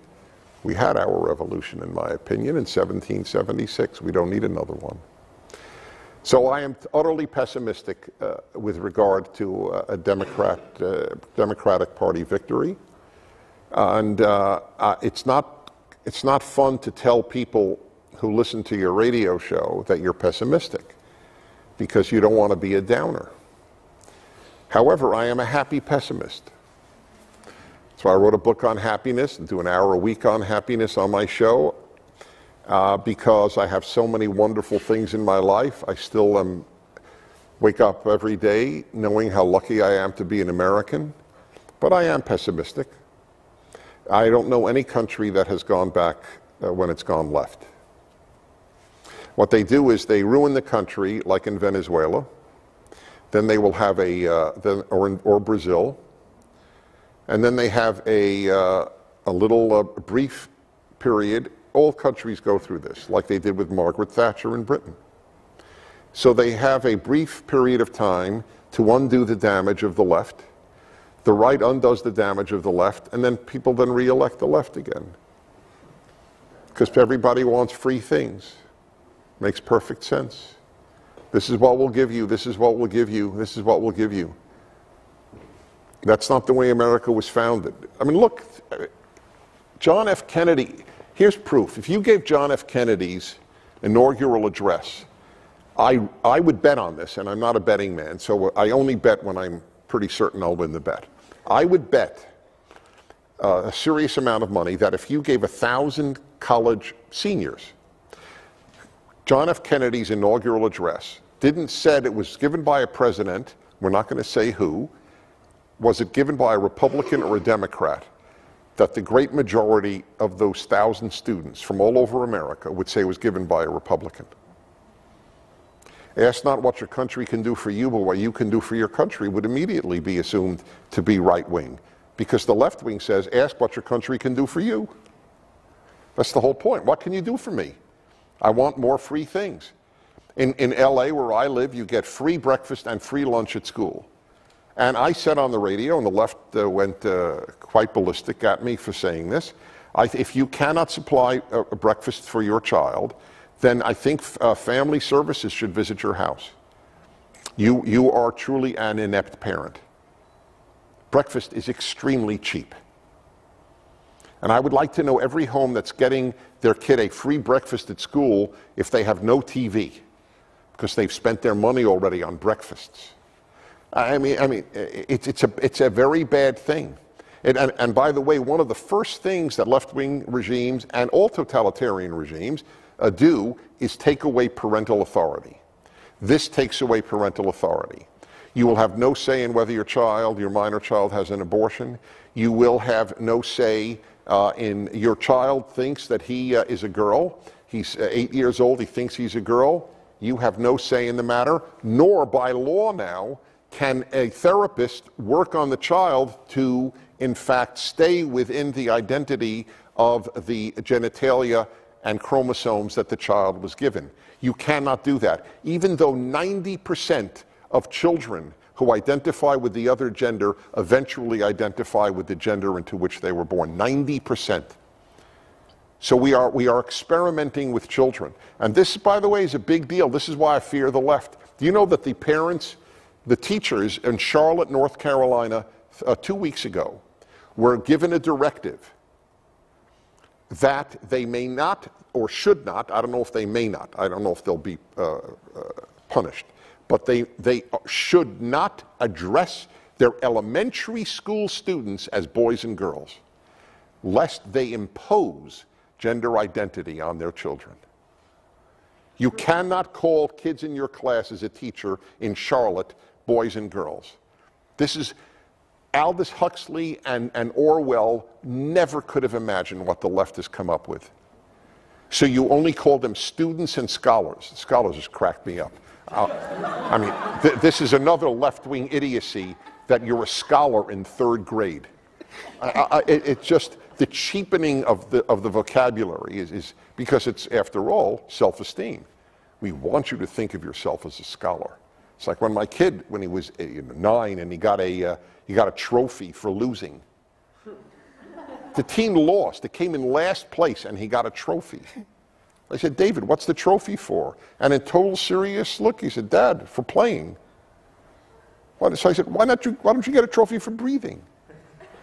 for existing. Here's an existence trophy. Let's hear from this young scholar. Yes, yes that's right. Now, by this age, it's possible. Um, my name is Jacqueline Eubanks, and I'm a freshman here at Hillsdale.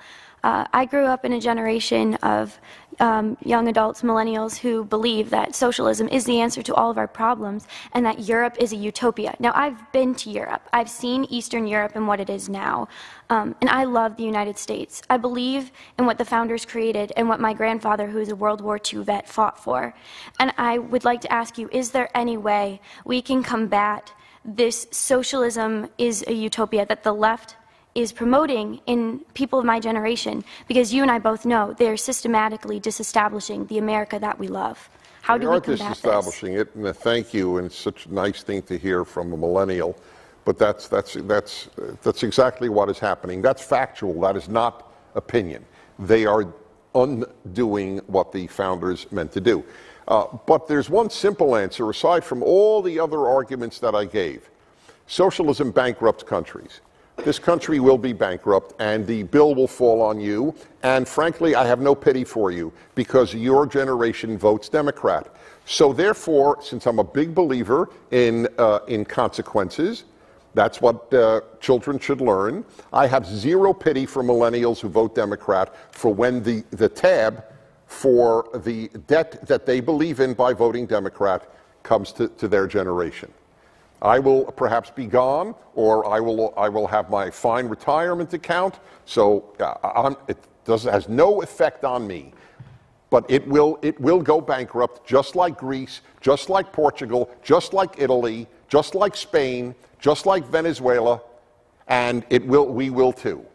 And uh, we will be a borderless country, and it, because the left wants borderless countries, just like with the Schengen rules in the European Union, they don't believe in borders because they don't believe in national identity. There will be a country called the United States between Canada and Mexico, but it will not be uh, any different from Canada or Mexico. That is the left's dream. And so, if this will all happen to you, you will re- read about a once great country uh, that existed, but that you helped dismantle because you thanks to the indoctrination you got in high school and in college, voted for. That's my message to millennials a non pity message. This is Book TV on C SPAN 2, and we are live at Hillsdale College in Michigan with author and radio talk show host Dennis Prager. Got about an hour and 15 minutes left in our program today.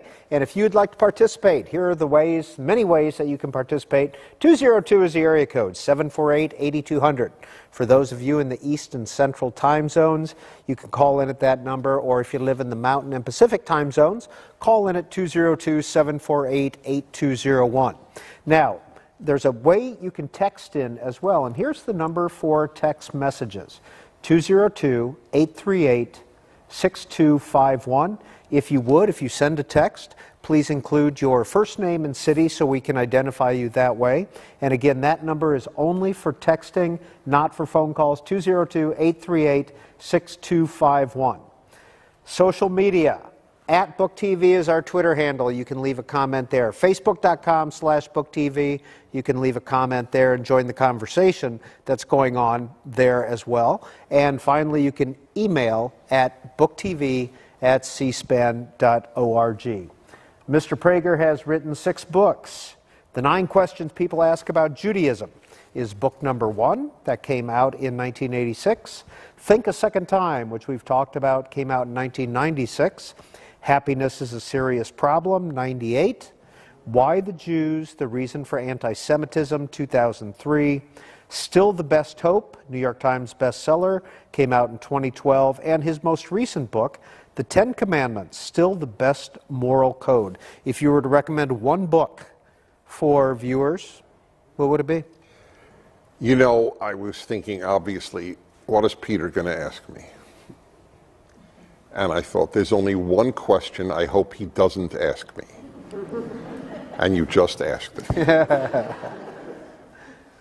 I feel toward my books the way a parent of six kids feels toward their kids. Presumably, you love them all, but all in somewhat different way, but you love them all. So I would, the, the, I don't have an answer to you. They're each, I, I only wrote six books. I know it's funny to say only with six, but because I, you know, with happiness, let me take an example. It was actually contracted by Random House. And uh, I, they gave me my advance, which I immediately spent. And then after five years, I did not have the book and I had to come up with the money and give them back their advance. Why didn't I have the book? I don't publish till I think it's terrific. I, I want, and that's why they're all in print, because they're meant to be read. I never think of the reader now. I think, will somebody 50 years from now find this important? And that's, that's the way I looked at all, all of these books. So uh, I, I you, you could throw a dart and pick out anyone you want. For uh, the happiness book is self recommending because every healthy person wants to be happy. And the title of the book uh, is a very important theme to the book. Happiness is a serious problem. Uh, Harper Collins said to me, in a very sweet way, Dennis, it's a pretty down title for a book on happiness. It's, it's a downer. So I will never forget, I said to the editor or the publisher, I said, I just want to know one thing. Is it true or not? Is happiness a serious problem? So he said, Yeah, it, it is. Said, so let's keep the title. So he said, Okay, then let's come up with a subtitle. I said, Fine. So there is a subtitle a human nature repair manual, which is no happier than the title. that's what's so that's what's so funny about it. And they go, oh, that's great. That's great. Okay, good. I'm glad you like it. Uh, however, all things being considered, uh, the book that I worked the hardest on, and that is most necessary at this moment, is probably uh, still the best hope the case for American values versus leftist values and Islamist values. It is three books in one. I was thinking of making three books, but I didn't. Islamism, leftism, and Americanism. Still the best hope on American values. That's the one. If, I don't care which you read, but if you were to read one, that's the one that I would want you to read because of how much is in there and, and a lifetime of thought. It, that, that, that was the hardest thing I ever did, was to write that book. John is calling in from Garden City, Michigan. Please go ahead with your question or comment, John. Mr. Prager, it is indeed a delight to speak to you as one who is a daily listener. I had the wonderful opportunity to speak to your father and ask the following question, and I want to ask it of you pertaining to your children. I said, What was it like having such a goofy child uh, who refused to do homework, who had to learn an instrument, so he picked uh, the accordion because it was the first in the phone book? Were your children more normal or traditional or like their father? And thank you very much. That's a very funny question. I actually remember that. And I even remember my, fa- my, my father has passed away since he died at 96. So I, I certainly, recently. I, I Very just recently. recently, right? I can't complain. I miss him, but I can't complain. Both exist. Uh, but I would have my father on every July 18th on his birthday, and uh, and it, it- by the way, it was it was precious because uh, uh, he uh, he was speaking to me like we were at the you know supper table. He there was no cognizance of a couple of million people listening, and and and he would yell at me. You know, I don't mean yell. He never yelled, but you know, he, he and and it- every year I just didn't know what part of the interview this would happen. He would go, you know, Dennis, you asked me that question three years ago you know, criticizing me for asking me asking the same question. He had a photographic and phonographic memory. Like I remember every question I asked my father over the course of 10 years. So he'd always it was very funny. Anyway, I remember his answer to that. Dennis wasn't goofy. It was very funny. I, I so but I but the, the caller was right. I, I within children I was not your norm. Uh, well, let me put it to you this way. We have a funny tradition in the house, at least with regard to one of my sons. So I'm DP1, Dennis Prager. DP2 is David Prager. And DP3 is Daniel Prager. And I'm a character, David's a character, and Daniel's a character. So there is this character element that, at least in part of the family, does seem to have uh, transcended generations. That's true. Well, let's hear from another Dennis, this one in West Palm Beach, Florida. Dennis, go ahead. Good afternoon, gentlemen. Mr. Prager, in one of your answers with which I completely agree, you mentioned uh, Catholic schools and leftist schools. I went to Catholic schools, but the leftist schools, when you said that, it reminded me of a quote by Dr. Milton Friedman, which I'm sure you have in one of your 5,000 books called Free to Choose. In chapter six, the title of that chapter is What's Wrong with Public Schools. And the point is, he says that public schools teach religious religion too, only not a theistic religion, but they teach values and beliefs and so on. I'm sure you know what I'm talking about. So my point is, assuming there is leftism being taught in a religion in a public school, and as Dr. Milton Friedman says, it's a form of a religion. It seems to me that would esta- uh, violate the Establishment Clause of the First uh, First Amendment, and secondly, for the government to force everybody who can't afford to pay again to opt out of public schools and go to a yeshiva or the Catholic school of their choice, that would violate the free exercise clause. And I'm sure you're probably the only person listening to this show that knows what I'm about to talk about now. But in Pierce v. Society of Sisters in 1925, the U.S. Supreme Court said that the government basically can't force kids to go to a school that the children are not creatures of the state and so on. And then John Stuart Mill, in his book on liberty, another one I guarantee is in your 5,000 book library. Dennis, if you could bring this to a conclusion. Oh, I got his point. I think All right, it's, it's then I, we'll I think hear yeah, from no, Dennis it's a very Prager. important discussion. Uh, obviously, look, I, I, I get my values from my religion.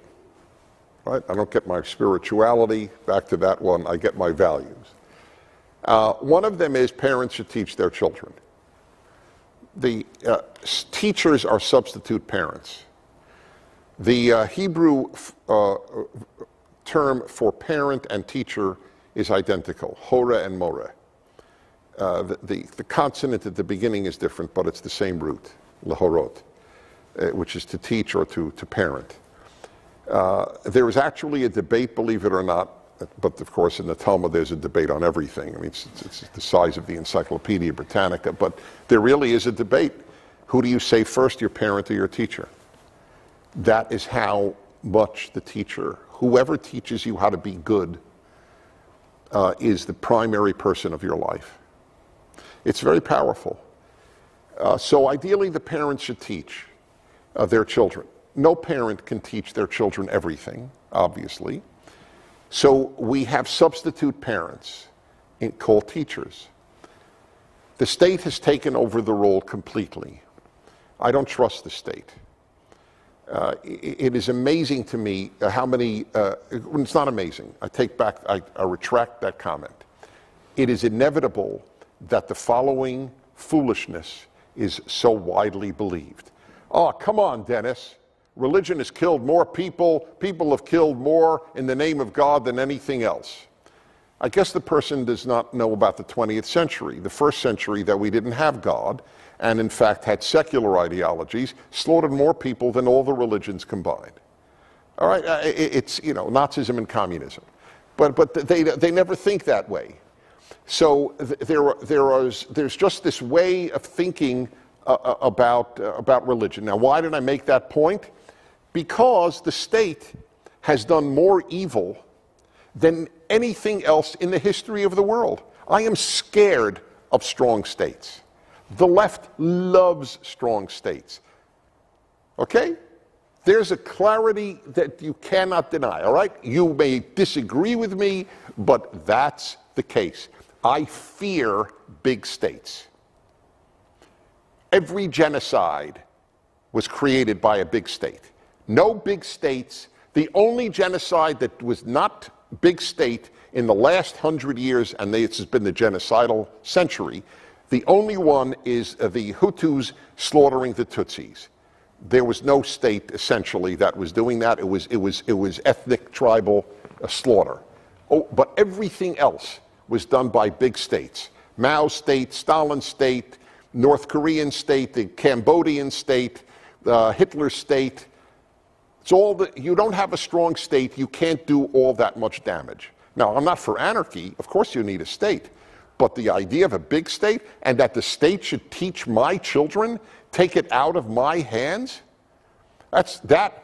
There was a time when that was okay. When state schools, called public schools, saw as their raison d'etre, their reason for being, the Americanization of all kids. Now it is the antithesis of the Americanization of kids. Now it is the ethnicization of all kids. Oh, and where are your parents from? There was a school in LA on Flag Day, had the kids bring in the flags of their parents' countries. Flag Day was supposed to be a day to celebrate the American flag. On that day, they celebrated about 26 different flags. That was the Flag Day. That's what the left has done to Flag Day to the extent that it exists. So uh, I, uh, the, this thought is like it's natural the state should raise my child. Uh, I'm sorry, uh, I, uh, I dissent. We have another student from Hillsdale here. Yes, uh, thank you very much, Mr. Prager. Um, my name is Alan Kotler, um, and um, I was raised uh, culturally Jewish. My parents are immigrants from the uh, former Soviet Union. Dobro yeah. Do you speak Russian? I do speak Russian, yeah. Okay. Um, so I have a question about, um, specifically, I'm not sure if you're aware, um, the mission statement of the college has recently changed. Well, first of all, let me just mention I was attracted to the school because I, I appreciate the sincerity, the honor code, the way people treat each other on campus. It's, it's very, very nice to see. Um, and, and the ethics of the college, which Judaism and Christianity both share. And I have a question about the, specifically the change. Um, before the, the wording of the mission of the college was that it was it's kind of a more ambiguous, uh, following the Judeo Christian Greco Roman traditions. And now it's an, explicitly a Christian school. So I just want to hear your take uh, as a Jewish person coming to Hillsdale College. What significance is this uh, for you? What significance is it for you?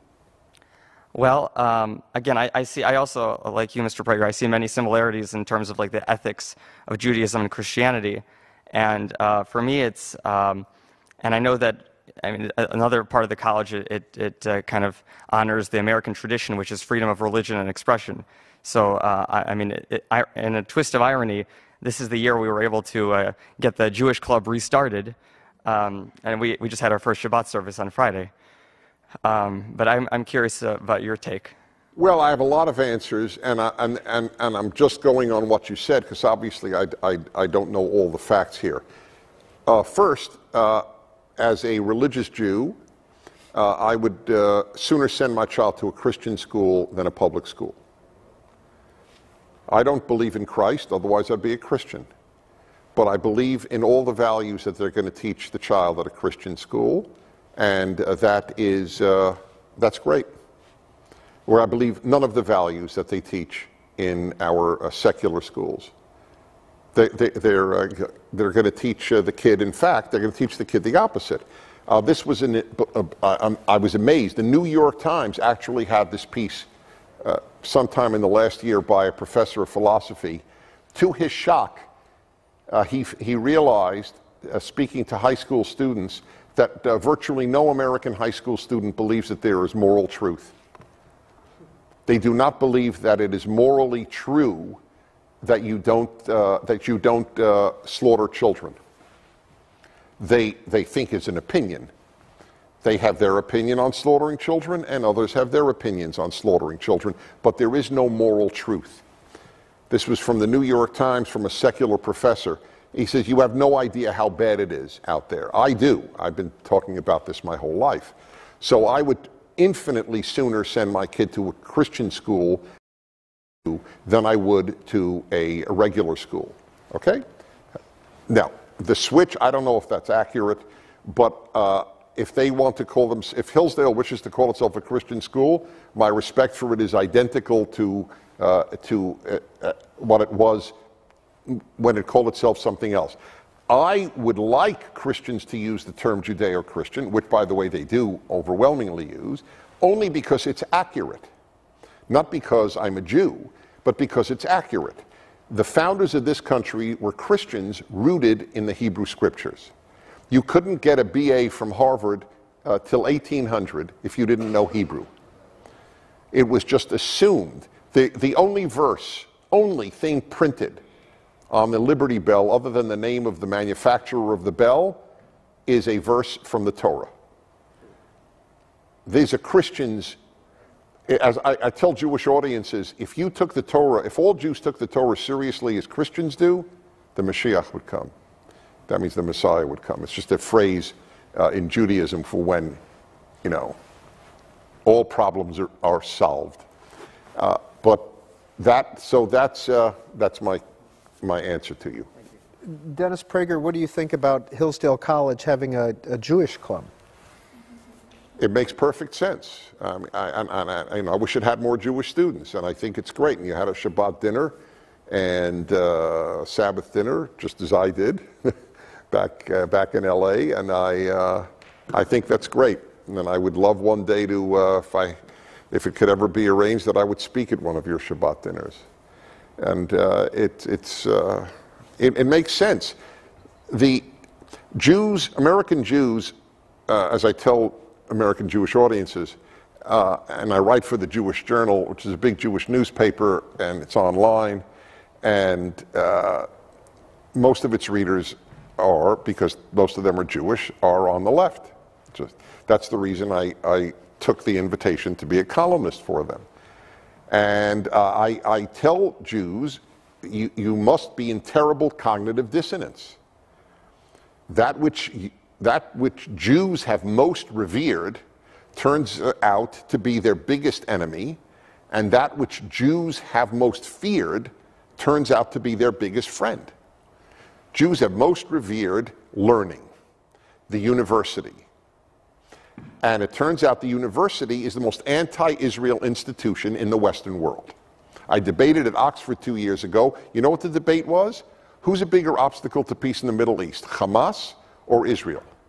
And the students voted Israel. Hamas, a terror organization that announces it wishes to annihilate Israel. And they voted that Israel is the bigger obstacle to peace than Hamas. Oxford University Forum. And that which Jews have most feared, Christians, turn out to be their best friends. So if Jews don't enter cognitive dissonance, nobody would. Do you have a problem if Hillsdale had an African American Students Association? Oh, that's, uh, yes, I do, because I, I believe in religious association, not racial. Race means nothing, is a value, is a Judeo Christian value. God uh, creates of us all in his image. But if you want to study God via Jewish texts or Christian texts, or for that matter, Muslim texts, uh, or, uh, or uh, Buddhist texts, I know they don't, they're not God-centered, that, that, is, that is a different thing. But if it were a Jewish organization just on ethnic grounds, I would be opposed to it. If, if it were on religious grounds, like having Shabbat dinner, obviously is a religious act, then you know how could I oppose it? But no, I, I think it's a very bad thing, and uh, the, the racial identity it, it, we're, we're Americans and we're humans. There isn't a day in my life I wake up thinking I'm white. It is, it, it, it's uh, uh, there. And by the way, uh, I don't believe that most blacks wake up, look in the mirror, and go, "What a good-looking black." They think, "Hey, that's Jerry in the mirror. That's Deanne in the mirror." This is, this is new. This is new that you are defined by your race or, or ethnicity. I mean, and it's gotten to be absurd. Why is, why is Barack Obama black? He's decided to call himself black. But why? He was raised by whites and one of his parents is white. Why does he say he's black? Why doesn't he say he's multiracial? Because there's no multiracial identity. And because there's, you don't get any, any points. It's actually better to be black than white in the United States. The proof is anybody who has a choice says he's a black. If it were so terrible, they would say they're white. But, for, but outside of university studies, outside of leftist propaganda, it is actually advantageous in America in most instances to be black rather than white. The proof being, once again, if people can make the choice, having both parents, they seem to all opt to call themselves black. So there must be some huge advantage to saying you are black. Rick is in El Centro, California, and Rick, you're on Book TV with Dennis Prager. Hi, Mr. Prager. Uh, I've never heard of you, unfortunately, but I just happened to be watching. Where do you live? No, I'm, I'm not, that, not that. I'm just curious. Where do you live? California, Southern California, El Centro. And uh, that's I depressing. I have to admit. I've been on radio in L.A. for 33 years. well, I'm, I, had I, work too, I work too much. Um, I just want to ask you a couple things. I heard someone ask you when you felt our country began to degrade our moral and other ethics, and I just wanted to know: do you do you relate that at all with women going to work and leaving our children at home. I know that's a sensitive topic, but it's something that I've always kind of outside analyzed, and I just wonder what your thoughts were on that. If you think that's affected today's youth in a negative way in any form. Do you think so, Rick? I think I I I do. I think our children, our children. I think our children need a base, a strong base to grow on. And I think without having someone at home to to check on things, to to keep an eye on, I think you know they're they're able to get into things easily that they maybe shouldn't get into. They're not as able to analyze and and and make decisions at a young ages. They're easily they're easily persuaded to do things maybe that they might not. I think it has. All right, let's hear from Dennis Prager on that question. All right, well, I discussed a lot about when, what I think the origins are. Certainly, the secularization of the country uh, is, uh, to me, uh, that, that was huge. I think to a certain extent, at least judicially, you can uh, go back to the 60s and the Supreme Court decision against prayer in school. New York State had a prayer, and, I, and I, I, I vaguely recall it, but it's the vagueness is still accurate, uh, and that is, uh, may God bless uh, my teachers, uh, my parents, and and uh, my school. I think that was. I mean, I mean that's how bad it was. Isn't that terrible? And the Supreme Court found that that was that was unconstitutional for children to say, "Bless my teachers." By the way, I, I do believe this very strongly. Uh, that when children were forbidden from blessing their teachers, within one generation, a lot of children were cursing their teachers. I do believe there is a direct line between those two. The, the, the, de, the de-religionization, the secularization, radical secularization, the removal of God from the lives of a generation of Americans for the first time in American history has had horrific consequences. The left is jubilant over it. That's why I fear the left. I admit it. It's one of the many reasons I think they're so damaging. As regards uh, women in the workplace, uh, th- this is uh, this is something that I have uh, talked about uh, uh, often in the following way. as my wife can attest to, who is here, I, whenever, and whether she's with me or not with me, when I meet a young woman, and I mean like from 18 to 25, uh, on the airplane, she's a waitress, eh, almost any, in the elevator. I talk to strangers all the time in elevators. I have fun with strangers. I should write a book, Fun with Strangers. I really should. I, I, get a big kick out of strangers. Uh, I, am the opposite of stranger danger. I think, in fact, I find loving strangers easy. It's loving family that is a challenge for most people. But anyway, uh, so I would ask a girl, 18 to 25. So I got a question. There's no right answer. I'm just curious. And I'd like to know if you could be guaranteed a great career or guaranteed a great marriage, which guarantee? Now remember, if you got the guarantee, it doesn't mean the other one cannot happen. It's just one is guaranteed. All right? So again, you could be guaranteed a great career or guaranteed a great marriage. Which guarantee would you want? And it's fascinating to, to have their reactions. In one restaurant in LA, I asked that of the waitress. A half hour later, she came over uh, to uh, my, all my friends, and, she looked, and one waitress looked at me, and not, what was not our waitress, another one, said, Are you the one who asked Sally, or whatever her name was, are you the one who asked her about the great career? I said, Yes. I said, Every single waiter and waitress here is talking about that. You've got the, everybody buzzing here about that. It's so interesting. And it is. See, people need to make conscious decisions about their lives. They don't. They follow the herd. That's the human th- thing. By the way, you see it in cars. There are two left lane, uh, uh, two left lane lane, two left turn lanes. That's not easy. Two left turn lanes. And you will see 10 cars in one and two in the other, and the 11th car comes into the 10 car lane. Why? Because they're all there. Humans are a herd animal.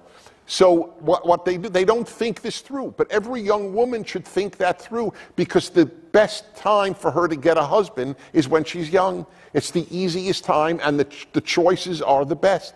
That's reality. A Princeton graduate woman wrote that in a New York Times piece, and she was vilified by the feminist movement because the left hates truths.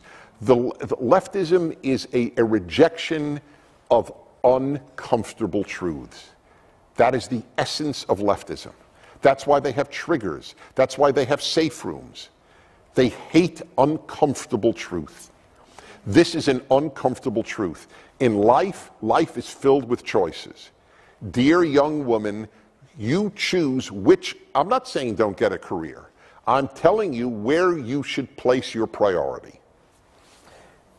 We're here at Hillsdale College and had a wonderful dinner last night with a group of students, very stimulating conversation. And one of the students there is here today from Seattle. Hi. Uh, hello. Yeah, uh, I'm Dylan Straley. I'm from Seattle, Washington, uh, sophomore here at Hillsdale College. And uh, earlier in the program, you were uh, asked a question about Hillary and, and Trump and what kind of world you see after either one of them is elected. And you didn't talk about Trump. And so I was wondering your thoughts on Trump. But as well as that, I was wondering, uh, me personally, as a religious person, a, a Christian myself, I have a hard time looking at Trump and his morally ambiguous behavior in the past and finding support for him. Uh, how do you feel about it? Okay, so here goes. First of all, you are not electing pastor, you are electing president. Okay? The broader issue for me is is, a, is four more years of left wing governance of the United States uh, going to be a tipping point or not? If we could survive it, uh, then it doesn't matter, then vote as you wish. I don't think we can. Will the United States of America be here in 100 years as a country between Canada and Mexico? I, I, suspect so. Will it be here as the America was founded to be? I don't think so. I am not optimistic, which to tell young people is probably a no no. But I, I don't know how to fake what I believe. I simply don't know. I'm, it, I'm not, I don't have that capacity. You don't know how bad what the left has done to America is. I really believe that. I don't believe. If you did, you, um, um, uh, Donald Trump's morally amb- ambiguous past to you would be trivial in comparison to the fate of the United States of America. Thank you. Follow up on that, Dylan? Nope. All right. Ooh. Uh, so, if we're looking at our future in a basis of uh, moral absolutes and truths, right? Uh, would you say that it's a lesser evil, or do you say, as in it's a fight we can't afford to lose by voting in Hillary, or do you think uh, voting him in is a, you know, a lesser evil of that situation because he is well, morally first ambiguous? Of all, lesser evil is a very big moral uh, deal. So I'll, I'll, I'll, address this issue. First of all, I, I, I, I have slightly moved from lesser evil to potentially positive. But uh, I was against him the entire primaries. I wrote a national review and elsewhere, column after column, broadcast. I lost listeners because I broadcast so strongly against him. But I said from the beginning, if he's nominated, I will vote for him because I see the big picture. Uh, the Supreme Court for the next 30 years will become a left wing court. Uh, North Carolina passes a law that uh, you need voter ID, the Supreme Court undoes it. Every democracy that I know of in Western Europe demands an ID when you vote. Are they all racist? How could that possibly be racist? You, if I were black, and every black I know is insulted because the left has such contempt for blacks, it does. There's no doubt in my mind they have contempt for blacks.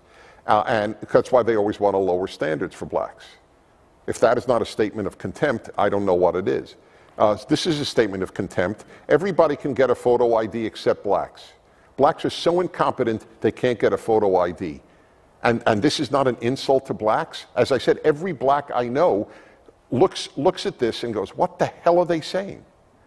It's hard to get an ID, but it's only hard for blacks? Uh, it's just, it's astonishing. This is called racist. So uh, the, the states will have no more power to make laws. The Supreme Court as seen through the eyes of left wing judges, will make all the laws for 30 years because they'll appoint a 40, 45 year old and they could stay till 90, which is then 45 years. But I'll, I'll, go down to 30 years. But it is enough to do because it's enough to do all they want. They don't need Congress. Left wing judges don't believe that Congress makes laws, they believe they make laws. Uh, do you believe that we can be certain that Trump will promote a right wing judge? There, there, in life, there are very few certitudes other than death and taxes. This is a basic law. Uh, I did not make that up. That was given to me. Number two, uh, uh, I would bet that uh, he did not lie when he gave the list of the judges that he would, uh, that he would promote. But at worst, here is what I tell my listeners. Imagine that there are two doors, and you have to enter one of those doors. One, over one of those doors it says, man eating lion. Over the other door it says, perhaps a man eating lion. Which door would you enter? and recently, uh, Mr. Prager, in Townhall, you wrote that there are many reasons why Donald Trump is a presumptive Republican presidential nominee, but the big, biggest single reason is this the majority of Republicans are not conservative. Yeah, wow, you really read carefully. That's true. And the majority of Republicans are not conservative. If conservative, certainly if conservative means, uh, when you asked me originally, aside from to conserve that which is best, that's the general universal definition. The, uh, the other is to conserve the American Trinity, e pluribus unum, in God we trust, and liberty. And uh, many conservatives are in the liberty camp, uh, and uh, e pluribus unum, you know, from many one is nice and, and, it's good. Uh, but certainly uh, the notion that the country was built on belief in God, the God of the Bible specifically, and that without that we really don't have an America. Uh, with all the goodwill and good conservatism that we would like, it won't survive the death of God. I do believe, not because God will punish us, I'm repeating myself, but I, I have no choice, because I understand that people can extract one sentence and then it's not, not fair to the point I wish to, to make. But uh, but I, I believe that uh, most Republicans look. Uh, is John McCain a conservative? I don't think so. Was, Bob Dole a conservative? I'm talking about the presidential nominees. I don't think so. Was Mitt Romney? I don't know. I, I can't say. I know his. I know his. The, the man who ran his campaign boasted, and I don't say this in a negative way. So maybe boasted sounds pejorative. Proclaimed, "I have no ideology." He said it, the head of the Romney campaign had no political ideology. How is that possible? Let's hear from John in Grants Pass, Oregon. John, please go ahead with your question or comment for Dennis Prager. Hi, Dennis. Hi. I wanted to uh, tell you how uh, how I met you, and I wanted to uh, thank you for the TV show that you had very, uh, very briefly. But the way that I met you was in uh, 1994, and I had just, well, my wife had just died that month, and I was rather distraught. And um, so I was up late one night, and I turned on the TV, one o'clock in the morning, and there was this show, Dennis Prager, and he was talking with a uh, well, there were a group of other people around, um, and this was uh, some kind of a seminar, group discussion, whatever, and it was all people, as I recall, it was all people who had lost a spouse. And so that's I why was, I had a short TV show. Just, that, that really that really summarizes the problem in a nutshell. Let's watch the Dennis Prager show and talk to people who just lost their spouse. Well, John in Grants Pass, Oregon, I hope it was helpful to you. Thank you because it was very comforting. Uh, it gave me some grounding, some understanding other people had it as well, and um, I just wanted to thank you for um, having done that for me, and uh, that's how I was introduced to you. That's John in Grants Pass, Oregon. Well, that, that's that's very touching. Thank you. Uh, I, I hope he went on to marry again because I, I, agree with God. It's not good for man to be alone. God has often some very fine ideas, and uh, that's one of them. But uh, I, that touches me that he would have tuned in at 1 a.m. and I helped his life. That's what I want to do. This is Scott, Columbus, Ohio, text message. I'm 51, I'm a white male. I live on two different continents during, I've lived on two different continents during my life, but here's my question. How does Dennis describe the feeling a white male has regarding the very public narrative that we, as white American males, are terrible people and have brought nothing but angst to today's society? I ask because I don't believe that at all, but feel that given the current political climate, I have no way to express my views without being characterized as racist. Well, just know that th- this is the this is how effective they are because that's what I said. SIXHIRB: sexist, intolerant, xenophobic, homophobic, Islamophobic, racist, bigoted. There are no rational responses to our rational arguments. There are just invectives. The New York Times columnists embody that. Nicholas Kristof, I'm sure is a sweet guy, columnist, New York Times.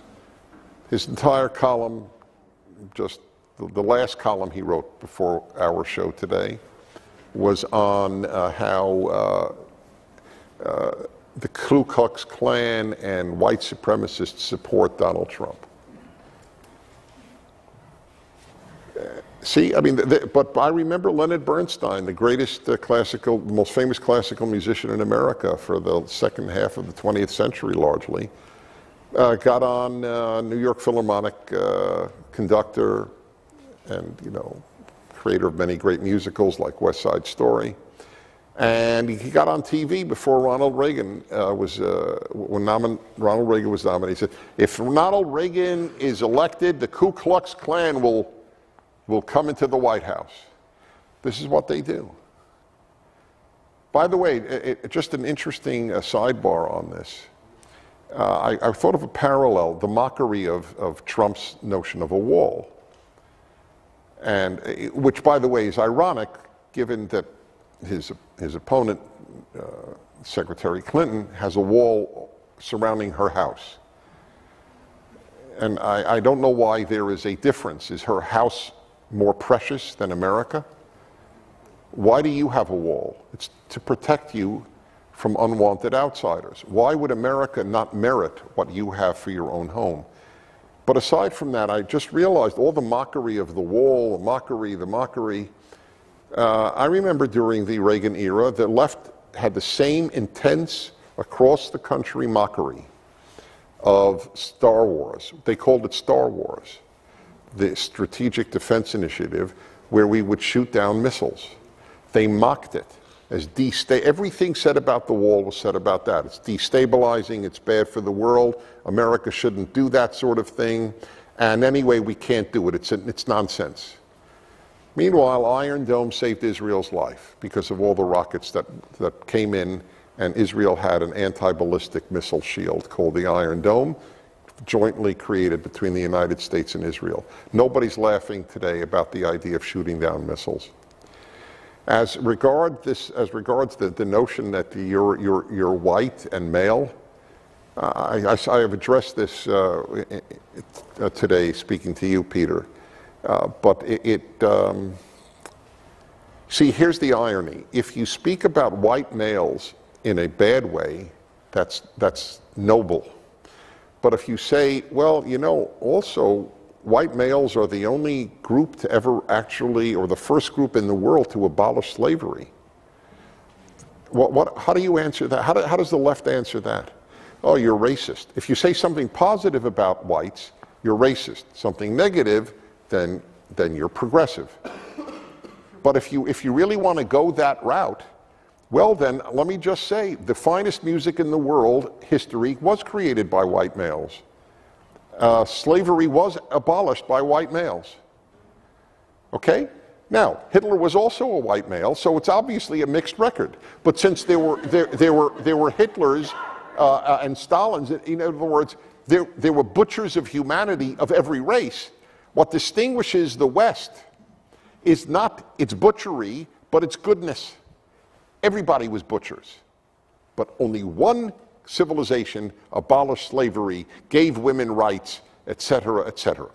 Western, which happens to coincide with white Europeans. But uh, to, to, to even mumble that outside of Hillsdale at any other college would, would uh, create a controversy. And if you have not been to Hillsdale College and you get here, there are uh, large statues of Ronald Reagan, Margaret Thatcher, Winston Churchill spread throughout the campus. George Washington. Yeah, she wasn't Abraham a white Lincoln. male, Margaret Thatcher, just, just for the record. And they're spread all over the campus. It's a, it's a beautiful campus, and we appreciate them hosting us today. Is it significant that we're seeing only white faces here in the audience? It's significant, but it, it, it, it's significant in the sense that it is a tragedy that the greatest values in the country have not permeated all the groups that have come into the country. That's the way it's tragic. Uh, and I agree with that. Uh, we, we are, uh, with Prager University, for example, we are doing an outreach to Hispanics in Spanish and in English. Uh, uh, about uh, uh, the, the, the, whole question of what is their value system. See, Hispanic Latinos come to this country from obviously Latin America. Every Latin American country, everyone has believed in big government. Anyway, by the way, it's true about every country on earth, including Western Europe. The United States is the only place to have enshrined the notion of limited government. And that is why, for, among other reasons, but it's among the biggest, that America has thrived like no other country on earth. And uh, the left wants us to be like the rest of the world. So Latinos coming into America bring big government values with them. It's not a racial uh, issue. They, uh, it's true for Western Europeans who come into America. They bring big government uh, ideas too. Wherever you come from, you bring the ideas of your civilization. They don't, uh, they don't come here. Now, a lot of Western Europeans come to America because they're attracted by small government. So it's about a 50 50, I would say. But with Latinos, they don't come here because they're attracted to small government. They don't even know the small government ideal exists here, and I don't expect them to. In rural Mexico, you're not taught about limited government in America. I completely get that. But we have to understand what a very large number of people whom we don't assimilate will what values they bring. Of course, the Democrats, therefore, want 10 million illegals rendered citizens because that's 10 million Democratic votes. Makes perfect sense. The Democratic Party and what they believed in Mexico and Guatemala and in El Salvador and in Chile and in Argentina are the same. The Pope believes in big government. The Pope believes in these values. He's Argentinian. It's a very, here's the, here's the ultimate, the ultimate. We had a woman, no, no, I had a caller, that's it, a caller who listened to, to watch Prager University videos, and he was deeply influenced, and he, he's from Caracas in Venezuela. And he said, uh, he said, Dennis, you don't know how bad it is. Here they realize how terrible Maduro is because you know the, you, you have to stand in line for toilet paper or for bread. Uh, I mean, it's terrible what has happened to one of the richest countries in Latin America thanks to socialism. He said, but the problem is the opponent is also socialist. So they think the problem is Maduro. They don't think the problem is socialism. That was a brilliant call. Let's hear from another student here. Hi, my name, my name is Samuel Musser. I'm uh, from Cincinnati, Ohio, and I am also a student here at Hillsdale College. No doubt this question is answered in one of your books, uh, so forgive my ignorance, but my question is this. Uh, in the Jewish faith, how were the great men of the faith that lived before the giving of the law justified before God? Well, the, uh, again, justified before God is, is Christian lingo. And I totally respect it, but it is not language that any Jew would use. We, I don't even think we have the word justified. I know you're referring to Abraham, that he was, uh, through his faith, he was justified through God. And uh, the Jewish answer is, is, is pretty basic, and you're totally, totally free, and I welcome your response. Uh, the Jewish faith, and I have to say, uh, this is my favorite aspect of my Jewish faith, other than the Sabbath in terms of ritual. But my, and I have, I have a lot of questions about my religion, uh, but uh, this is my favorite. And that is we and it's one of the only things all Jews agree to, because there's almost nothing all Jews agree to other than water is H2O. H2O. Uh, and, and, but that would be that God judges everyone by their behavior. That is why you don't have to be Jewish to be saved in Judaism. That's why I'm, I can easily, as a Jew, celebrate when Christians live their Christianity because if you live by God's rules, whether you have my theology or not is of no interest to me. But if you're living the Ten Commandments and preaching essentially the Torah to the world, you are my ally in, in God's work. That's how I view Christians.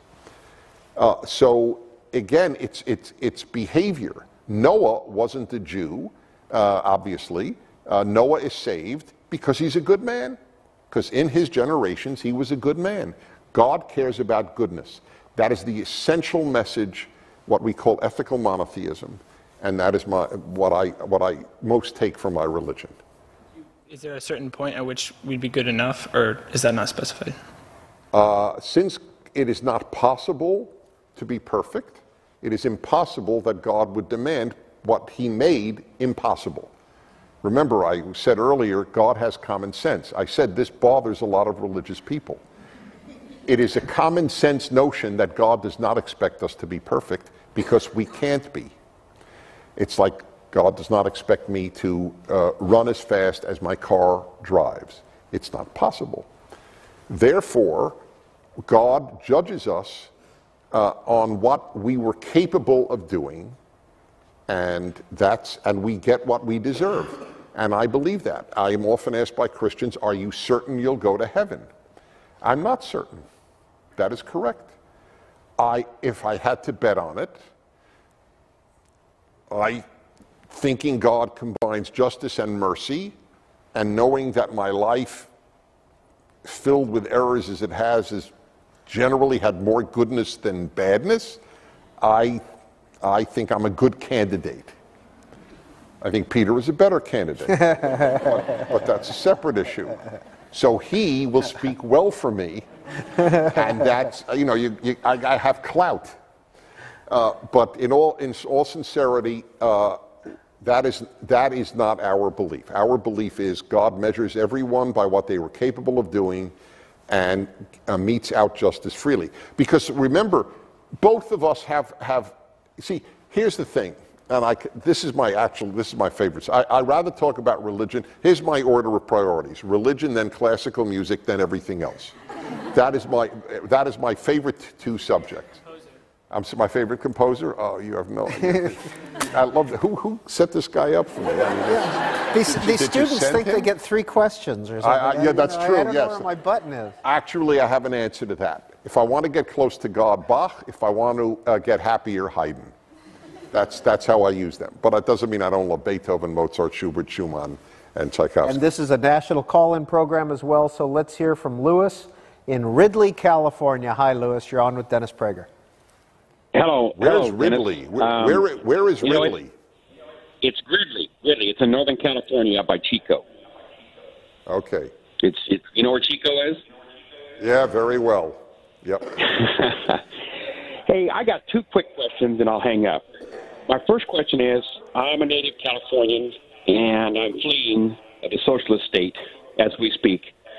Uh, I, I don't think California can survive. Is that the reason the country's going to fail? Because California, New York, Illinois are going to be so financially insolvent that the rest of the country will have to chip in and it's over with? And what was the other question? And how in the world do we not vote for Donald Trump just because of the Supreme Court only? No other reason but that. And and that's, right. that's the only. That, That's Lewis in Ridley, California. Right. Uh, so uh, uh, the national debt and the state debt will bring down the country economically. And at that point, the left will say, now is when we really need to tax the rich to save the country, and we will forcibly uh, take their money away. By the way, which won't help, of course, uh, because the rich also are the ones who hire the most and produce the most and pay the most taxes. So once, if you shot every single rich person in America and took all their money uh, it would help for approximately two years. I don't know what the exact number is. And then you would have no uh, uh, hiring uh, or producing of wealth that we have had to begin with. Inequality does not trouble me. It is the quality of life of those who are on the lowest rungs that should be the moral issue. If, if, if, the, if the poorest people of your society are living well, but far beneath the, the richest, so what? It, it, it's, this, is, this is so unhealthy and unmoral and un American. The American response has always been to the wealthier, gee, how do I get that wealthy?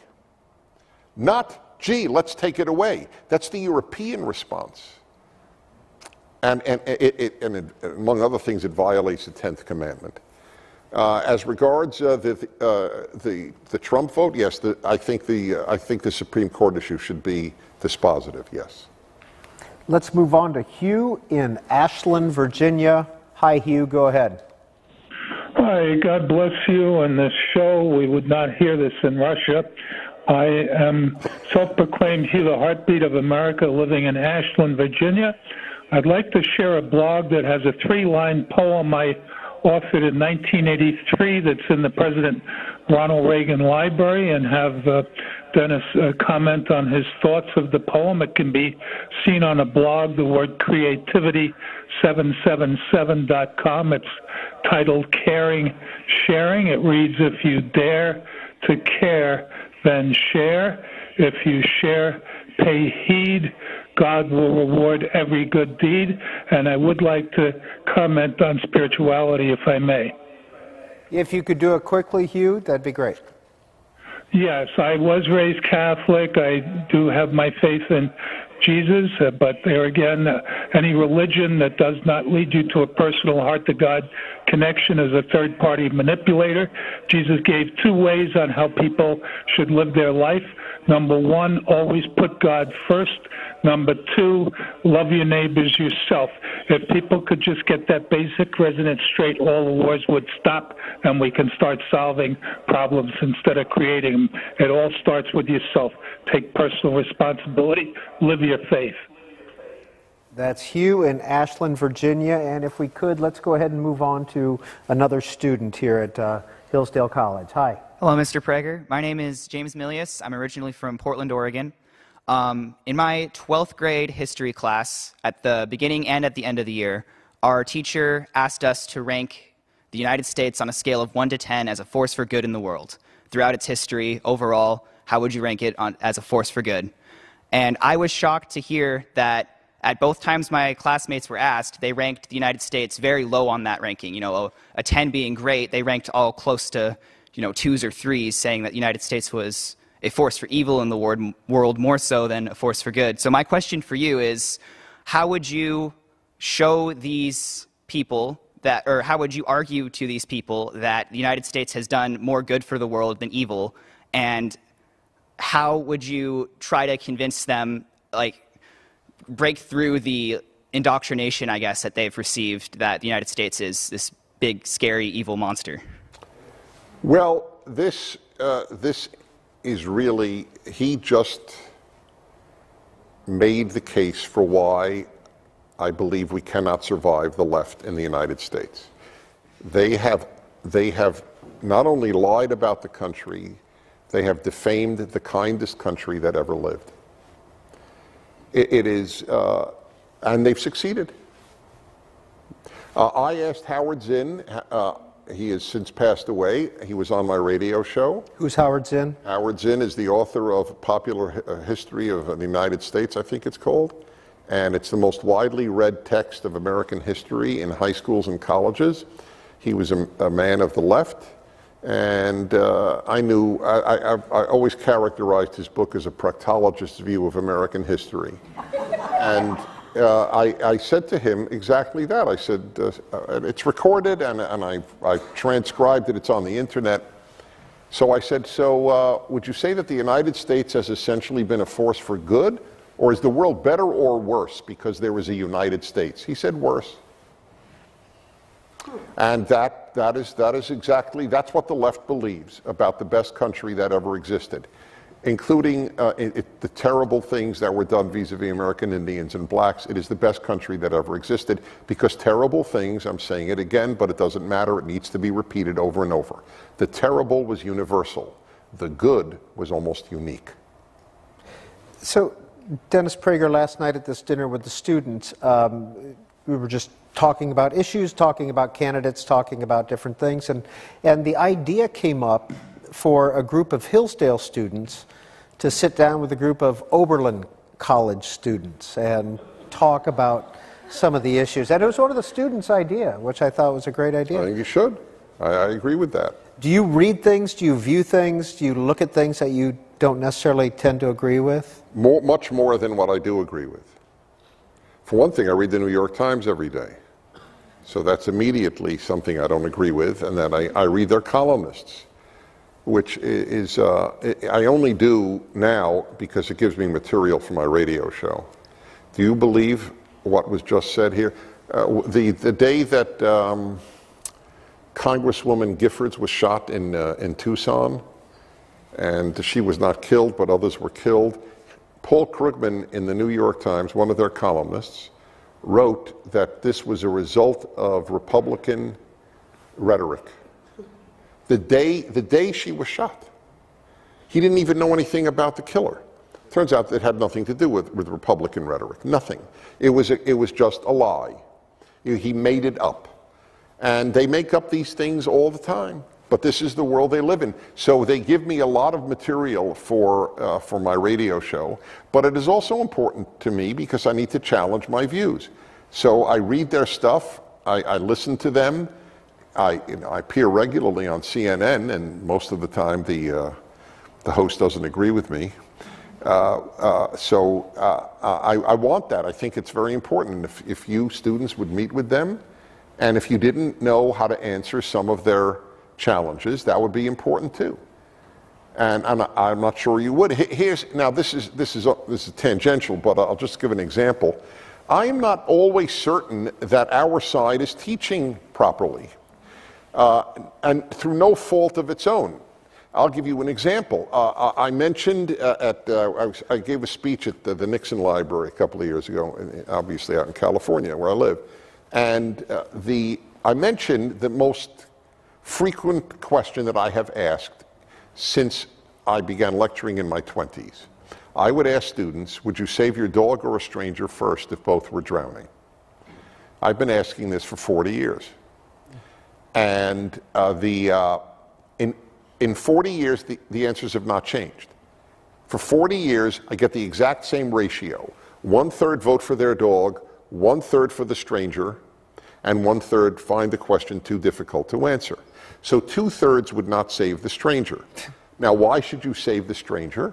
Because humans are created in God's image. Humans, human life is more sacred than animal life.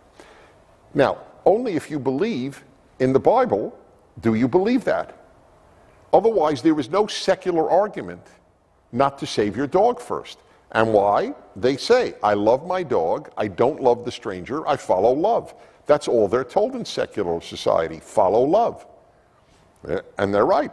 By the way, for, for the record, I love my dogs more than I love the stranger, strangers too. But I would save any stranger before either of my dogs. It is not easy to say, and it would be even harder for my wife to say, because she really loves the dogs.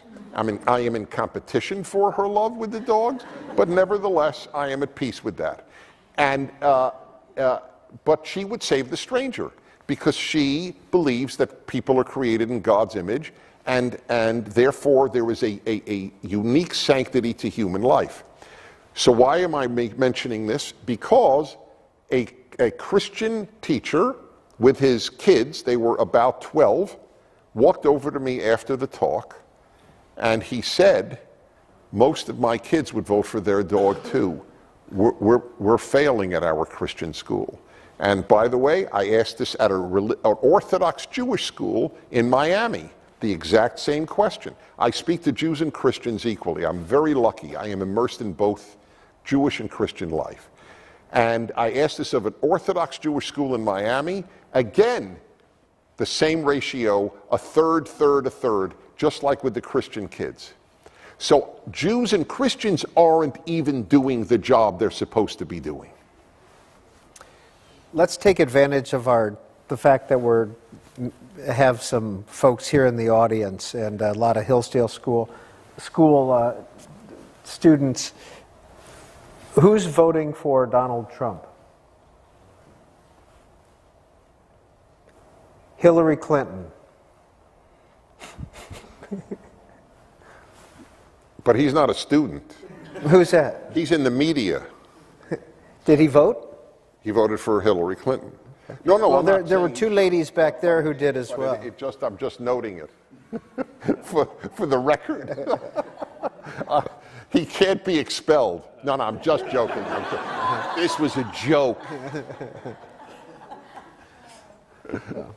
All right. Let's uh, look at this Facebook comment. This is from Darren, and it's uh, critical of Book TV. You just obediently set, sat by and allowed the person to call people the Republican invented slur word illegals. There's no such thing. Illegal is an adjective, not a noun.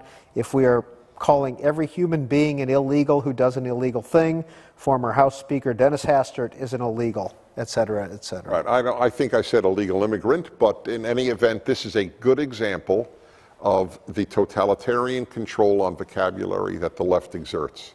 We cannot call illegal aliens. By the way, uh, President Bill Clinton in 1995 in his State of the Union address used the term illegal aliens. Uh, just, just in, in his State of the Union address and spoke about how important it is not to allow illegal aliens. In other words, it sounded exactly like Donald Trump did, uh, but it was given by, it gives you an idea what has happened in 20 years. It, it, it is just an astonishing uh, metamorphosis because it's a snowball effect once the left gets control of media and, and, uh, and of schools. The vocabulary has to change. Like, for example, it's fascinating. Why did it go from global warming to climate change? You know why? Because it's not warming nearly as much as they predicted. So they're stuck with that term and they don't like it. Climate change, of course the climate changes. I mean, it's, the climate has changed all through Earth's history. Who, who denies climate change? It's like denying, uh, you know, you know that, that, that, that one walks on one's legs. It's, it's a given. So, but the, the, they're, they're very brilliant at language, white privilege, so that they don't, they don't, that, let's not talk about the fact that there's an 80% out of wedlock birth rate in black life. Because if we talk about that, then we're doing two things. One, we may actually solve the real problem, because that's the biggest single problem in black life, is that too many children are raised without a father in their lives. And then they're not victims, blacks. And if blacks are not victims, they may not need the Democrats. That is the worst thing you could possibly do is tell Hispanics, women, or blacks you're not victims. If you're not victims, you don't need us. So you must see yourselves as victims. So they lie about the reality. The reality is not that cops are racist. Of course, there are racist cops. It's like people who say, when I say America is not racist, oh, Dennis, you're saying there are no racists in America? They don't understand the difference between there are no racists in America and America is not racist. It's just like, as a Jew, I will tell you, I'm the author of a book on anti Semitism. There are anti Semites in America, but America is not an anti Semitic country. In fact, it is the best country that Jews have ever had to live in. And I taught uh, Jewish history at Brooklyn College. I know my Jewish history. This is the best country Jews have ever been uh, alive in. But there are anti Semites here, and Roosevelt did not allow Jews in uh, during the Holocaust. To, uh, and, and, by the way, and Jews still worship at the shrine of FDR, which gives you an idea of how leftism even trumps Jewish interest in Jewish minds, that FDR is still an icon to Jews. Anyway, I could go on forever, obviously. I do, 15 hours a week on my radio show. I'm going on forever. And we only have 10 minutes left in our program today with uh, Dennis Prager at Hillsdale. Carl in Wayne, Pennsylvania, good afternoon. Hello, Dennis. Uh, thank you for taking my call. The uh, I'm a uh, a uh, been a practicing Roman Catholic all my life. I grew up in a uh, coal mining town northeastern Pennsylvania of Eastern Europeans. I've always been a strong uh, believer in the the Jewish faith, and uh, the thing I I don't understand the most, one of the things, is so many Jewish people, the well educated, for sure, the, the, the uh, celebrities, are supporters of the Democratic Party in the United States. All right, we're going to have to leave it there and get a response. I Yeah. looked this up before the program. 69% of American Jews voted for Barack Obama Right. in 2012. Uh, Jews, uh, I have a very quick answer and a very long answer. I'll only give you the quick answer. Uh, This is the way I phrase it Jews are the most religious group in the world, except for most of them, their religion isn't Judaism. Uh, Jews invent uh, secular religions the way uh, Italians invent operas. It's part of their uh, DNA, if you will. You name it Marxism, socialism, humanism, environmentalism, feminism, egalitarianism you name the ism, Jews either founded it or uh, have been extremely active in it. These are all a secular replacements for the Judaism that, in most cases, they, they do not uh, adhere to or care about. And they, they think they're doing wonderful work. I debated Betty Friedan, may she rest in peace. She told me she, uh, she was not a religious woman, but she said, I am a, in the direct line of Jeremiah the prophet as a feminist. And she believed that. So uh, this, this is a, uh, this is a, uh, a sad problem. Here's the irony. my latest column in the Jewish Journal is, on, is about this. The Jews embrace the left, but the left loathes the Jews. That's the irony. Leftist anti Semitism has been, with the, with the one exception really of Hitler, has been uh, the most powerful continuous anti Semitism of the last century. Uh, Black Lives Matter is a left wing group. Just announced that Israel is committing, it's, it's part of its platform, Israel is committing genocide. That is as big a lie, as I said earlier, as Jews take Christian kids, slaughter them to bake matzah on Passover, which was the, it's called the medieval blood libel. This is the modern blood libel against the Jews that Israel is committing genocide. And Jews, there are Jews who support Black Lives Matter, despite the fact that they have created this blood libel against the Jewish state. Text Michael, Connecticut. I'm against the left and right. I'm spiritual, which is God centered and has a moral code. I'm against socialism and capitalism. Mr. Prager has cherry picked his facts. I do respect his views. I can listen to your guests all day, but I disagree with him 80% of the time. I always want to know the 20% they agree with. That's, that's, that, that, that really interests me. I'd be fascinated. Uh, but uh, just, uh, e- e- see, he- here's the thing. I, I make it easy to disagree with me because I'm as clear as, as I think a person can be. Capitalism is the only ism, the only economic system that has lifted people from poverty. That's either true or false. It's not agree or disagree. I'm either right or wrong. See, if I say BMW is better than Lexus, that's an opinion. That capitalism has taken people out of poverty, and only capitalism is either true or false. There's a big difference between opinion and truth. All right, very quickly, let's hear from another student. Uh, my name is Caleb Hansen. I'm a freshman here at Hillsdale College. I'm from uh, Salt Lake City, Utah. And uh, my question is what is the motivation behind Prager University? Uh, would you ever have students speak at Prager University? And uh, Would we is- ever have students what? would you have students speak in a video at Prager University? And um, what is the single most important thing you would tell the students of Hillsdale College? Wow, that's a lot. So, Prague, what is Prague University? Would I ever have students speak at it?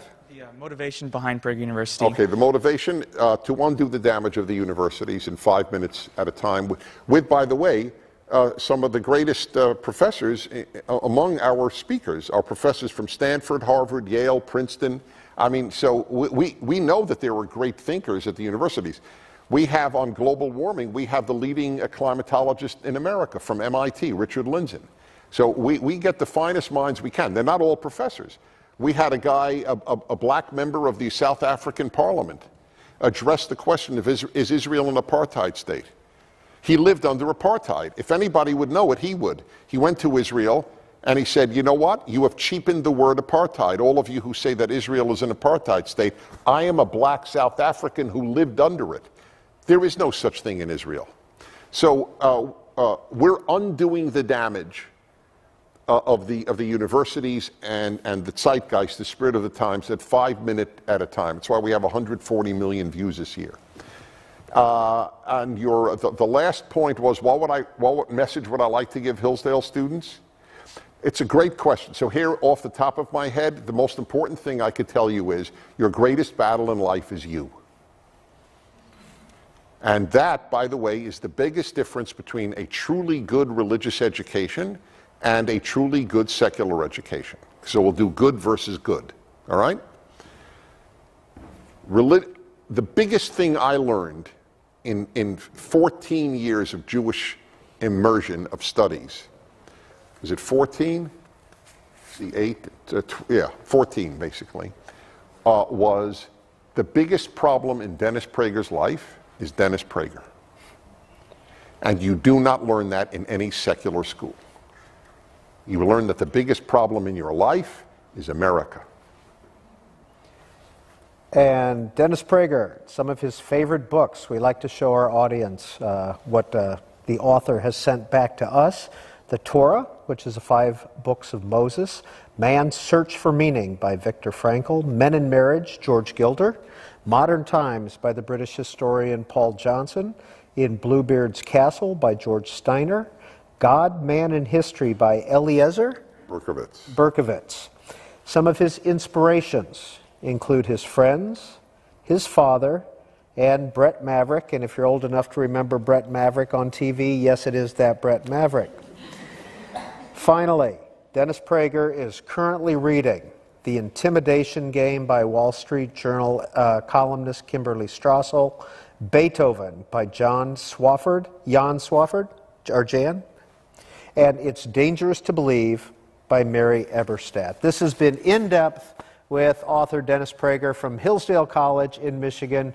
We appreciate your time and we appreciate Hillsdale College. Thank you all for coming out. you. You're the best. You are Oh, that was the best. fun. That was fun. C SPAN